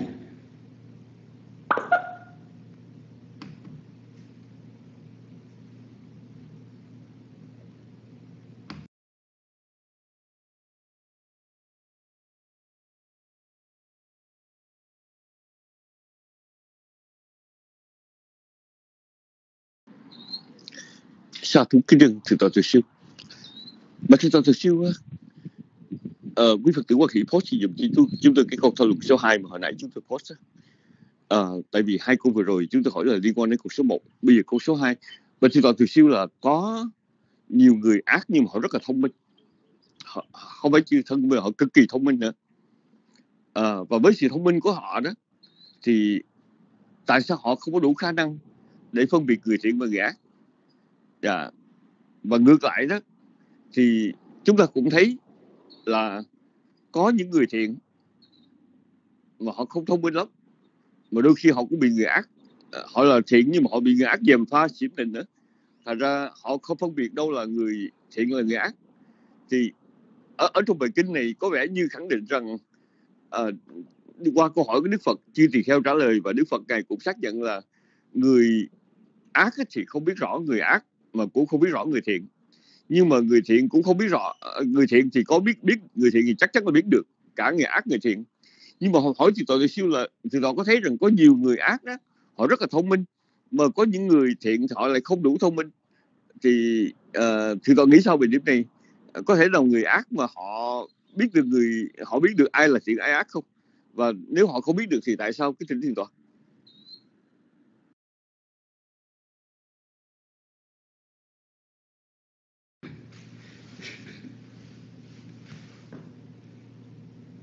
xin xin thượng tọa xác định là cái cái câu cái câu hỏi này là câu hỏi thứ mấy?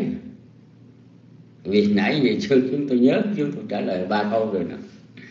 Bây giờ thêm cái câu này sao tôi chúng tôi nghe mới chỉ câu thứ số 2 à. chắc có lẽ là chúng tôi phải trả lời luôn tới 10 giờ. À, kính thưa quý vị thật ra đó, khi mà luận bàn đến cái vấn đề này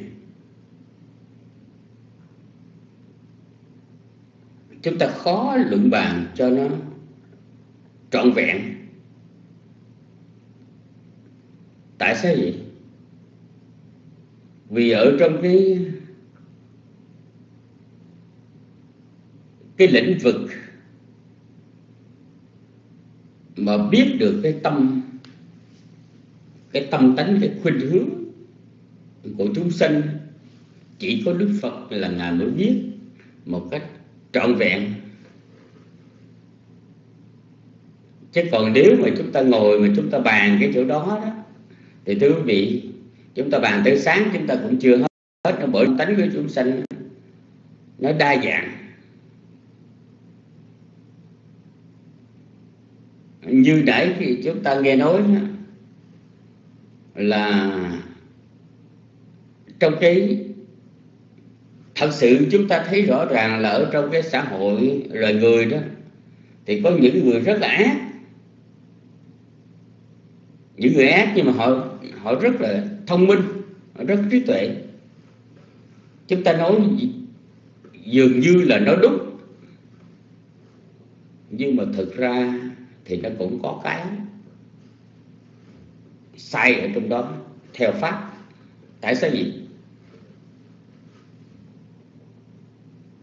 Là bởi vì cái tâm sở trí, cái panya panyendriya chetasika nó không có phối hợp ở trong cái tâm bất thiện đâu. Nó không có phối hợp tâm bất thiện đâu nó chỉ phối hợp tương ưng với tâm thiện mà thôi. Chúng tôi nói thêm cái điểm này thế nào cũng cũng nảy sinh ra cái câu hỏi số 5, số 6 nữa. Thì thưa quý vị nó là như vậy. Cho nên ở đây đó do theo cái thường cận y duyên gọi là Bhaktomarisya Pachaya tức là một người đó hiện tại mặc dù cái tâm họ tâm ác, họ làm thân hành ác, khẩu hành ác, cái hình ác, nhưng mà họ có một cái tập khí, một cái thói quen ở đời quá khứ, họ làm việc gì, họ cũng hay dùng trí. Họ hay dùng trí. Cho nên cái tập khí đó, cái thói quen đó nó trở thành cái thường cận cái duyên. Mà đời này, mặc dù họ có thân hành, khẩu hành ý hành ác nhưng mà chúng ta vẫn thấy dường như là họ rất là thông minh và họ rất có trí tuệ.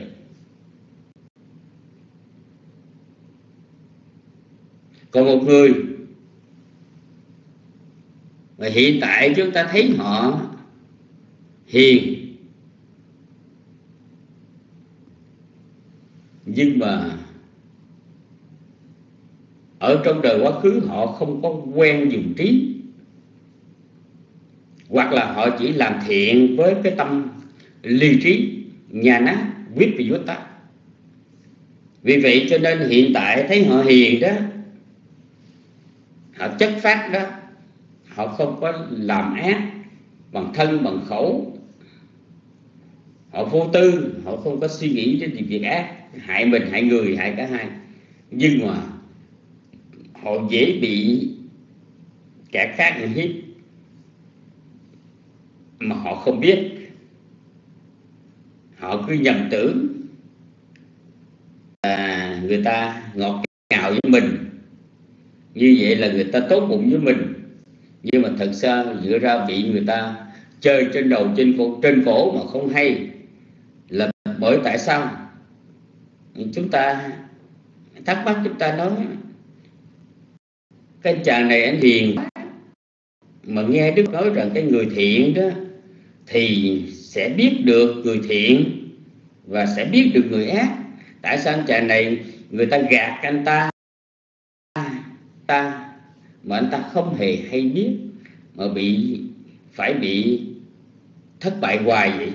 Không thưa quý vị, do cái thường cận ý duyên. Ở đây đức phật này không nói hết nhưng mà chúng ta phải ngầm hiểu một điều là người mà ngay trong hiện tại, họ có cái trí tuệ nhạy bén và có thể ứng phó mọi việc hay là họ có thể đánh giá được mọi con người.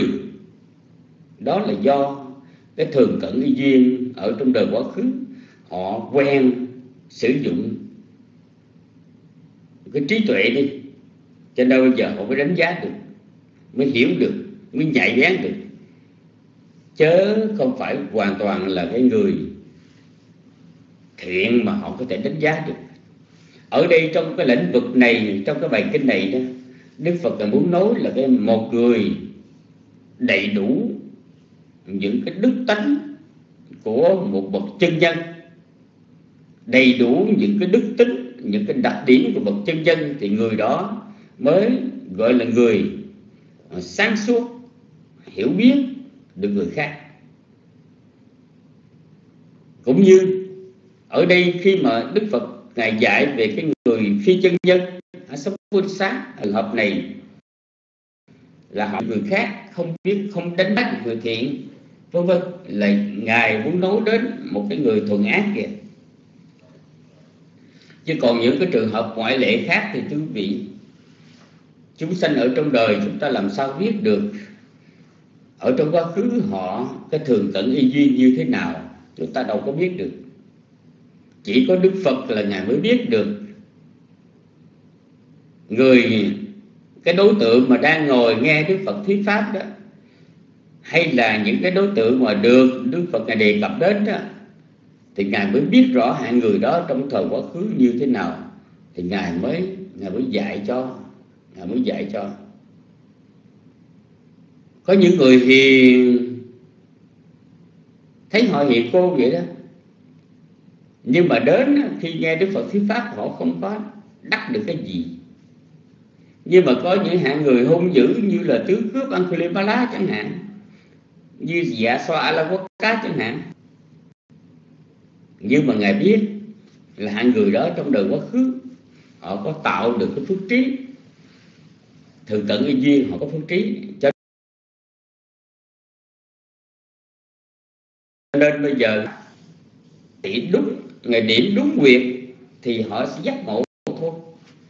Cho nên ở đây đó, nếu mà chúng ta ngồi chúng ta chi tiết từng chút từng chút cái khả năng của chúng tôi thì phạm phu là chúng tôi chỉ biết lấy kiến văn để mà để mà lý giải thôi, chứ không thể nào mà từng điều, từng chúng tôi có thể à, nấu cho hết được.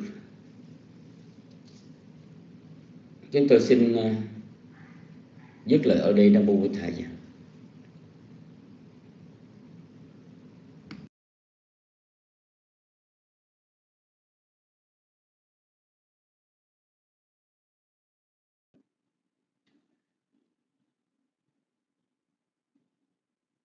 Sao tôi kính trân từ từ từ siêu.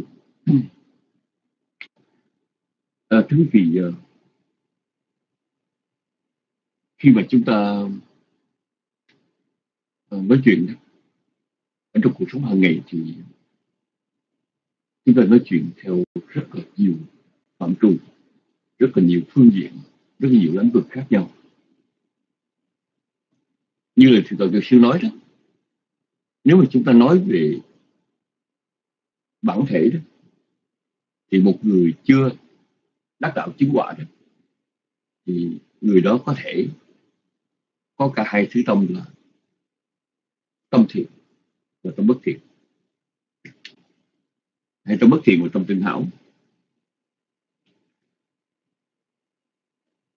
Nhưng mà đại loại, ở trong đời sống hàng ngày đó, thì người ta cũng có thể phân biệt được là một người thiện và bất thiện. Ở trong tư cách tổng quát. Chúng tôi nói như vậy là có những người họ rất là trí thức. À, một vài lĩnh vực gì đó họ rất là vững bền nhưng mà sự vững bền đó không có nghĩa là họ không phải là người trí thức có những người họ trình độ rất là tầm thường, nhưng mà họ lại có một cái xuất sắc về điểm gì đó. Ví dụ chúng tôi gặp một vài người đó, họ học, chưa hết tiểu học nữa chữ nghĩa rất là tầm thường, nhưng mà họ rất là thuộc nhiều thơ văn. Nghe họ đọc, ca dao tục ngữ những bài thơ này thơ kia, thì không nhất thiết là họ là trí thức. Mặc dù có những người học rất giỏi, lại không nhớ nhiều thơ giống như họ hai chuyện chúng ta phải phân biệt. Ở trong giai tầng xã hội cũng vậy. Có những người thuộc giai cấp trung lưu nhưng mà giai cấp trung lưu đôi khi ở trong túi cũng cạn tiền đôi khi cũng không xây, xây sở được cũng khó khăn. Cái cái nghèo của người trung lưu cái cạn túi người trung lưu nó khác với cái nghèo của người thuộc giai cấp thấp ờ, thuộc cái tầng lớp uh, mà lợi tức thấp. Những người thuộc tầng lớp lợi tức thấp á đôi khi họ xài cũng rất là sang họ đi ăn rất là sang nhưng mà không có nghĩa là vì vậy mà họ thuộc về cấp trung lương thì là cái mà chúng ta phải phân biệt. Và thứ gì ờ, ở trong bài kinh này lại đề cập đến một cái lĩnh vực mà chúng ta nên biết mà cái chữ này thì ở trong Phật học ít nói đấy nhưng mà trong thường thức đặc biệt là trong nho giáo thì nói đến nhiều đó là cái chữ tâm đức và tâm lượng. Chữ tâm đức và tâm lượng ở đây đó là, ví dụ như một cái người có trí họ nhẫn nại trước những cái lời nói xúc phạm, thì những cái người mà không phải là người trí thì thấy là người đó hèn quá người ta đã đụng chạm đến mình mà không trả lời. Nhưng mà một người khác mà có trí tuệ đó, thì hiểu rằng người đó nhẫn cái khó nhẫn những thứ nhẫn. Thì đúng là một người có độ nhẫn nại cao. Thì cái khả năng đo được cái tâm lượng, đo được cái tâm đức rộng như vậy đó, chỉ có những người tâm lượng tâm đức rộng mới đo được người tâm lượng tâm đức rộng mà thôi. Những người tâm đức hẹp hòi đó, thì họ không hiểu được điều đó không hoàn toàn không hiểu được điều đó. Cái ý niệm về tâm lượng và tâm đức á, được Đức Phật ngài dạy tại đây mặc dù trong Phật học không có dùng cái từ đó nhưng mà chúng ta có thể hiểu một cách rất là tổng quát ở tại đây là ở trong cuộc sống đó, có thể người ta rất là thông minh. Nhưng mà gọi là để lượng định được đúng và quý vị chờ chút xíu. Đánh giá được đúng người. Nó không phải dễ dạ. Tuy cũng nói một chuyện này. Đôi lúc một vài người đi hành thiền các vị gặp một vài vị thiền sư mà cái đánh giá của các vị thiền sư đó, đánh giá rất là hời hợt ở bên ngoài. Ví dụ như các vị nói rằng ngày thiền sư sau ngày dạy nghe buồn ngủ mà. Và cũng có những người họ đến các vị thiền sư. Họ thấy các vị thiền sư đó dạy cách uống trà thậm chí dạy cách hát dạy cách uh, gọi là trà thiền hay là trà đàm. Thấy vui quá. Cho rằng vị thiền sư đó hay. Khi họ về họ kể lại thì chúng tôi nghe chúng tôi chỉ im lặng thôi. Thật ra thì không dễ dàng để một người không hành thiền hay là mới tập tễnh hành thiền mà đánh giá được các vị thiền sư. Là cái tâm lượng nó khác nhau, khác lắm. Dạ. Yeah.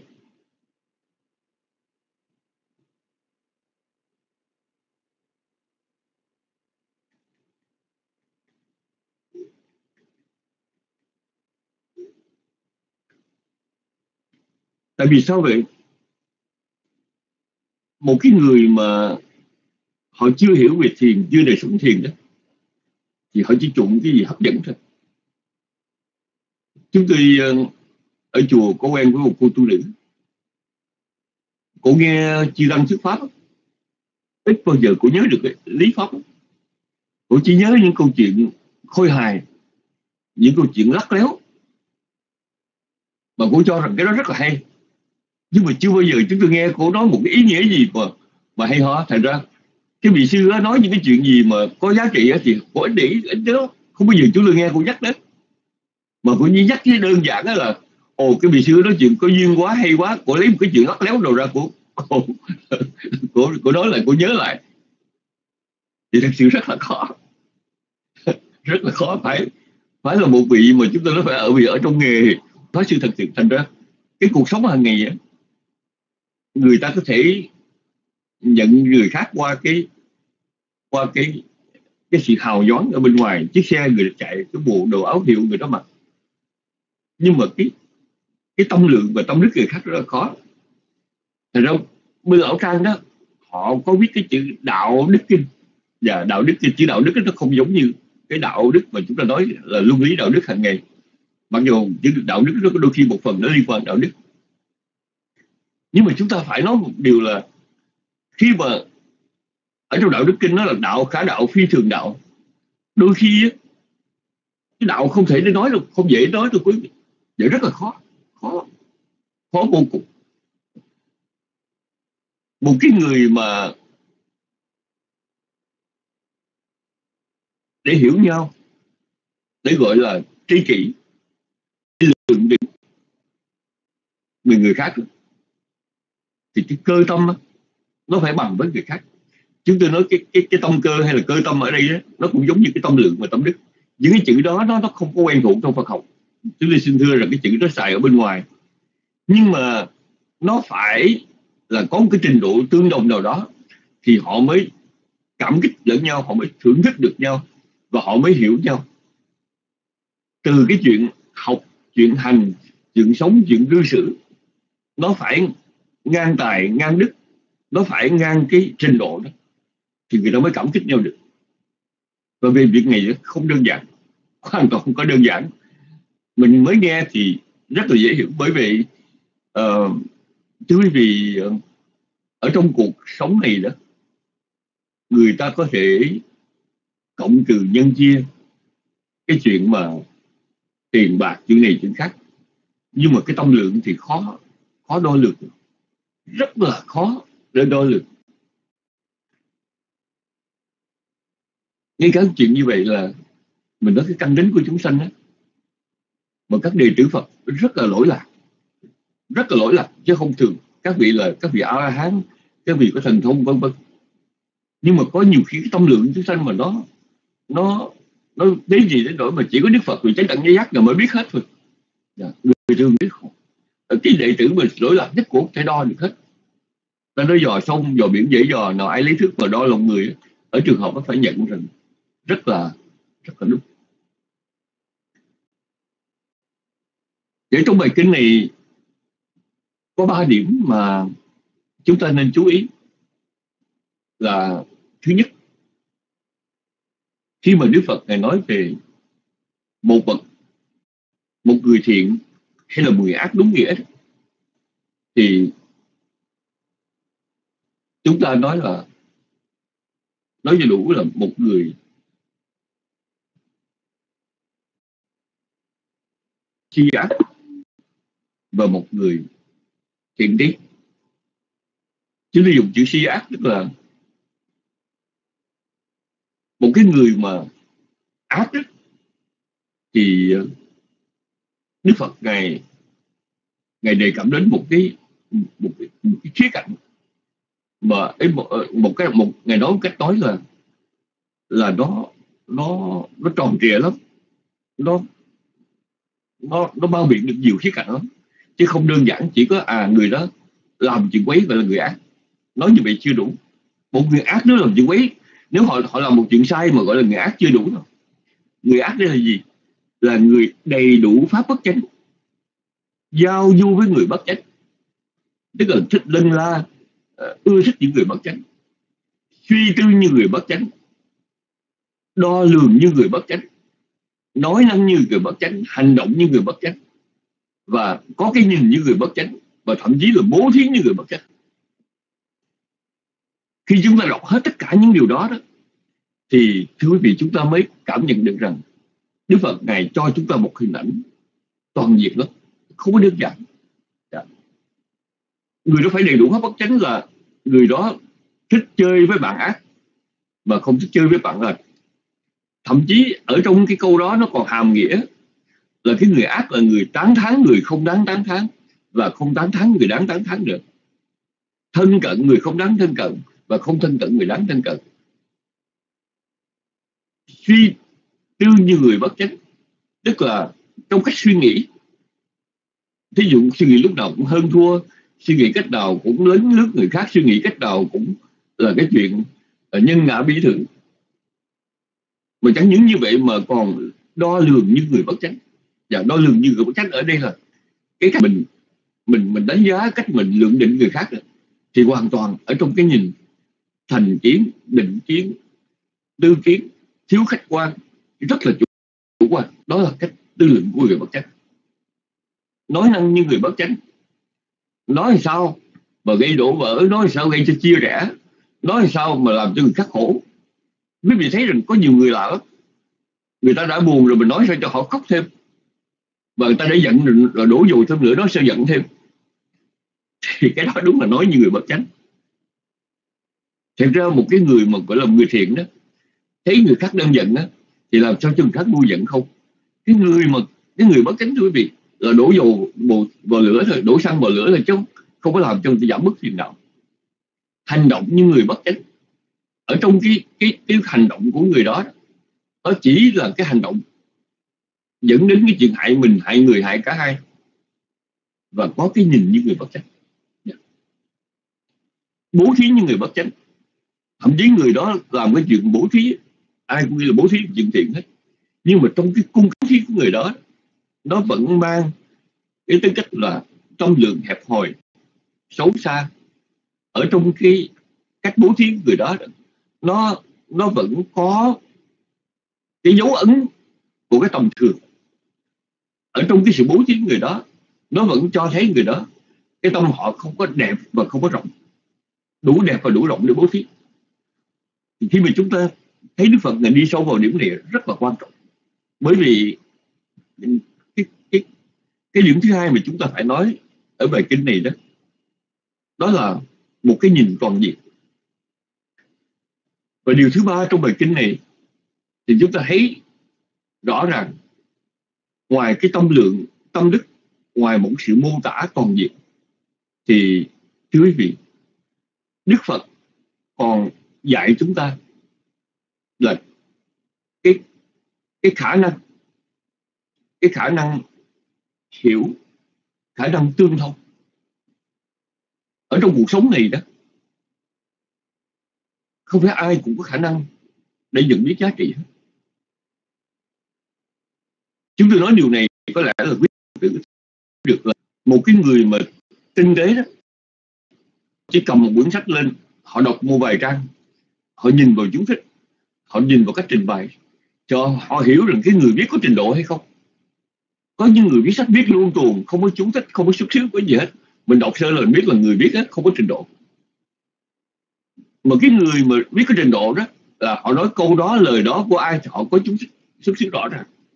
Và nhìn vào cái bố cục mình phải biết cuốn sách hay sách dở và cuốn sách dở dạ. ngài Achancha ngài có nói một điều đó là một người có mắt á, chỉ cần mở mắt ra một chút là họ thấy được rất nhiều việc. Nhưng mà một người không có mắt á, thì dầu người đó có sống 100 năm, ở đó họ cũng không nhận ra điều đó. Thật ra cái khả năng đi vào trong chợ mà chọn lên những thứ gì cần mua đáng mua và mua đúng thì kể ra cũng phải có bản lĩnh phải có trí tuệ. Dạ. không phải dễ. Thành con người mình sống ở trong đời này, mình muốn hiểu bậc thánh trí, mình muốn hiểu người thiện, mình muốn hiểu cuộc sống, thì mình phải nâng cái trình độ nội tâm của mình.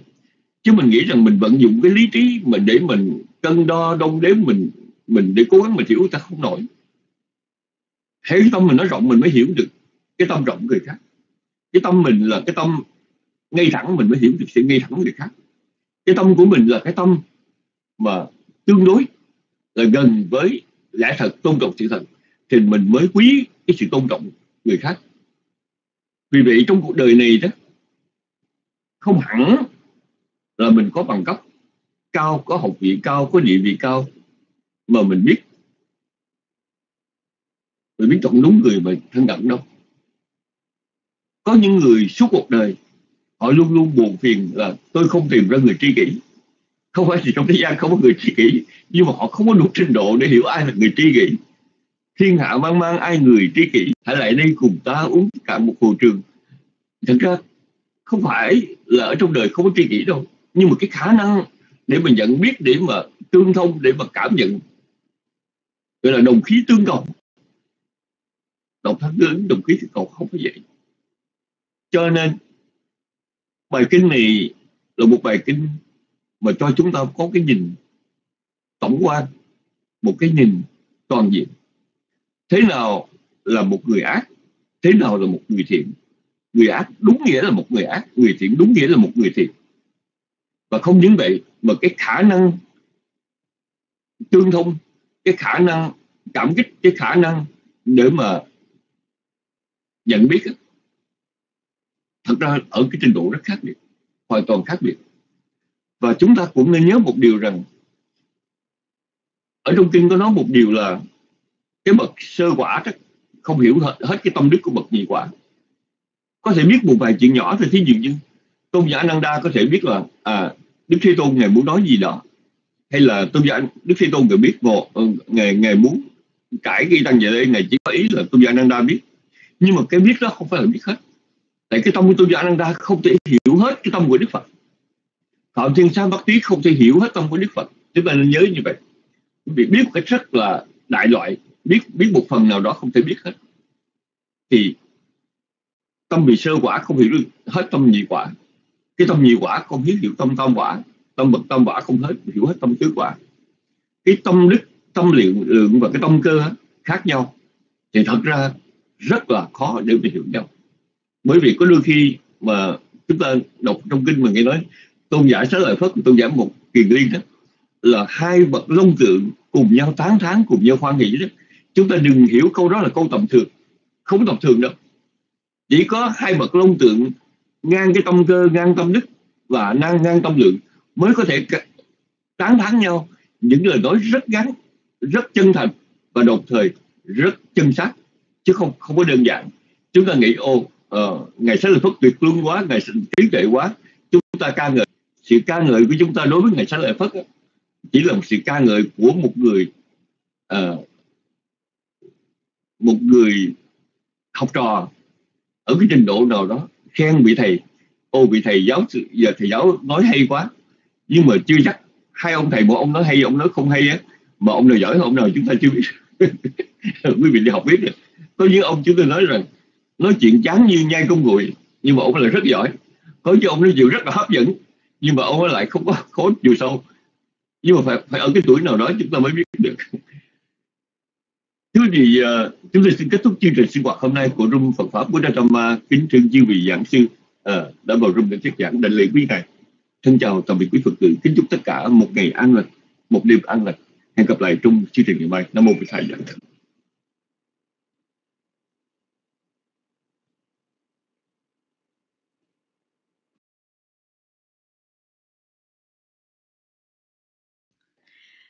Nam Mô Bích Thầy Gia Sa Thủ Lành Thầy chúng con kính tri ân thượng tọa giác đặng đã đúc kết cho chương trình học học ngày hôm nay. Con nhận việc thay mặt đại chúng trong room chúng con kính chúc chư tôn đức thân tâm. Thay mặt đại chúng trong room chúng con kính tri ân chư tôn đức đã mở lần bí mẫn giảng dạy Phật pháp hữu ích cho chúng con, để hướng dẫn dìu dắt chúng con tiến bước trên hành trình tu tập.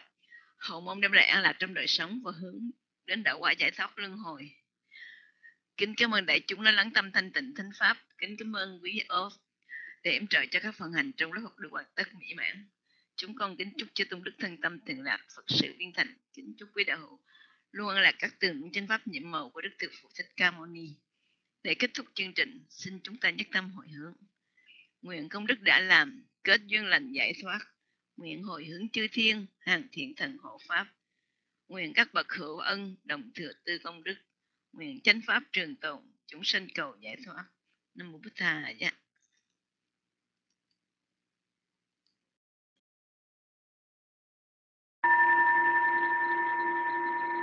ยังกินจิกุสลกรมังกาปะปังกเรยามมกายเยนวาจามนัสาดิดาเสสุขตังกตังเอตาตาสัญญิโนอาติเยยสัตตาสัญญิโนกตังบุญญาลังมายังสัพเพปากิปวันตุเตเยตังกตังสุริตังเยนังบุญญาลังมายาเยจตาธนจานันติเดวาดันตัวดิเวกยุงสาเปโลกัมปิเยสัตตาจีวันตาหารเนตุกามตุยังโคจนังสาเปรัพันตุมะเจตปาติ con xin hồi hướng phước lành đáp cùng pháp giới chúng sanh gọi dừng mẹ cha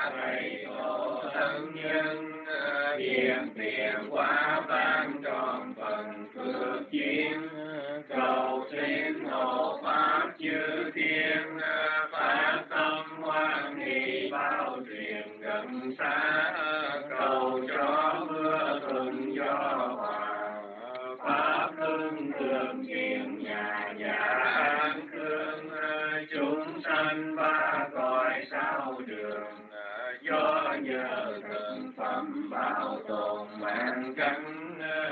Nghiệp lành từ khẩu ý thân.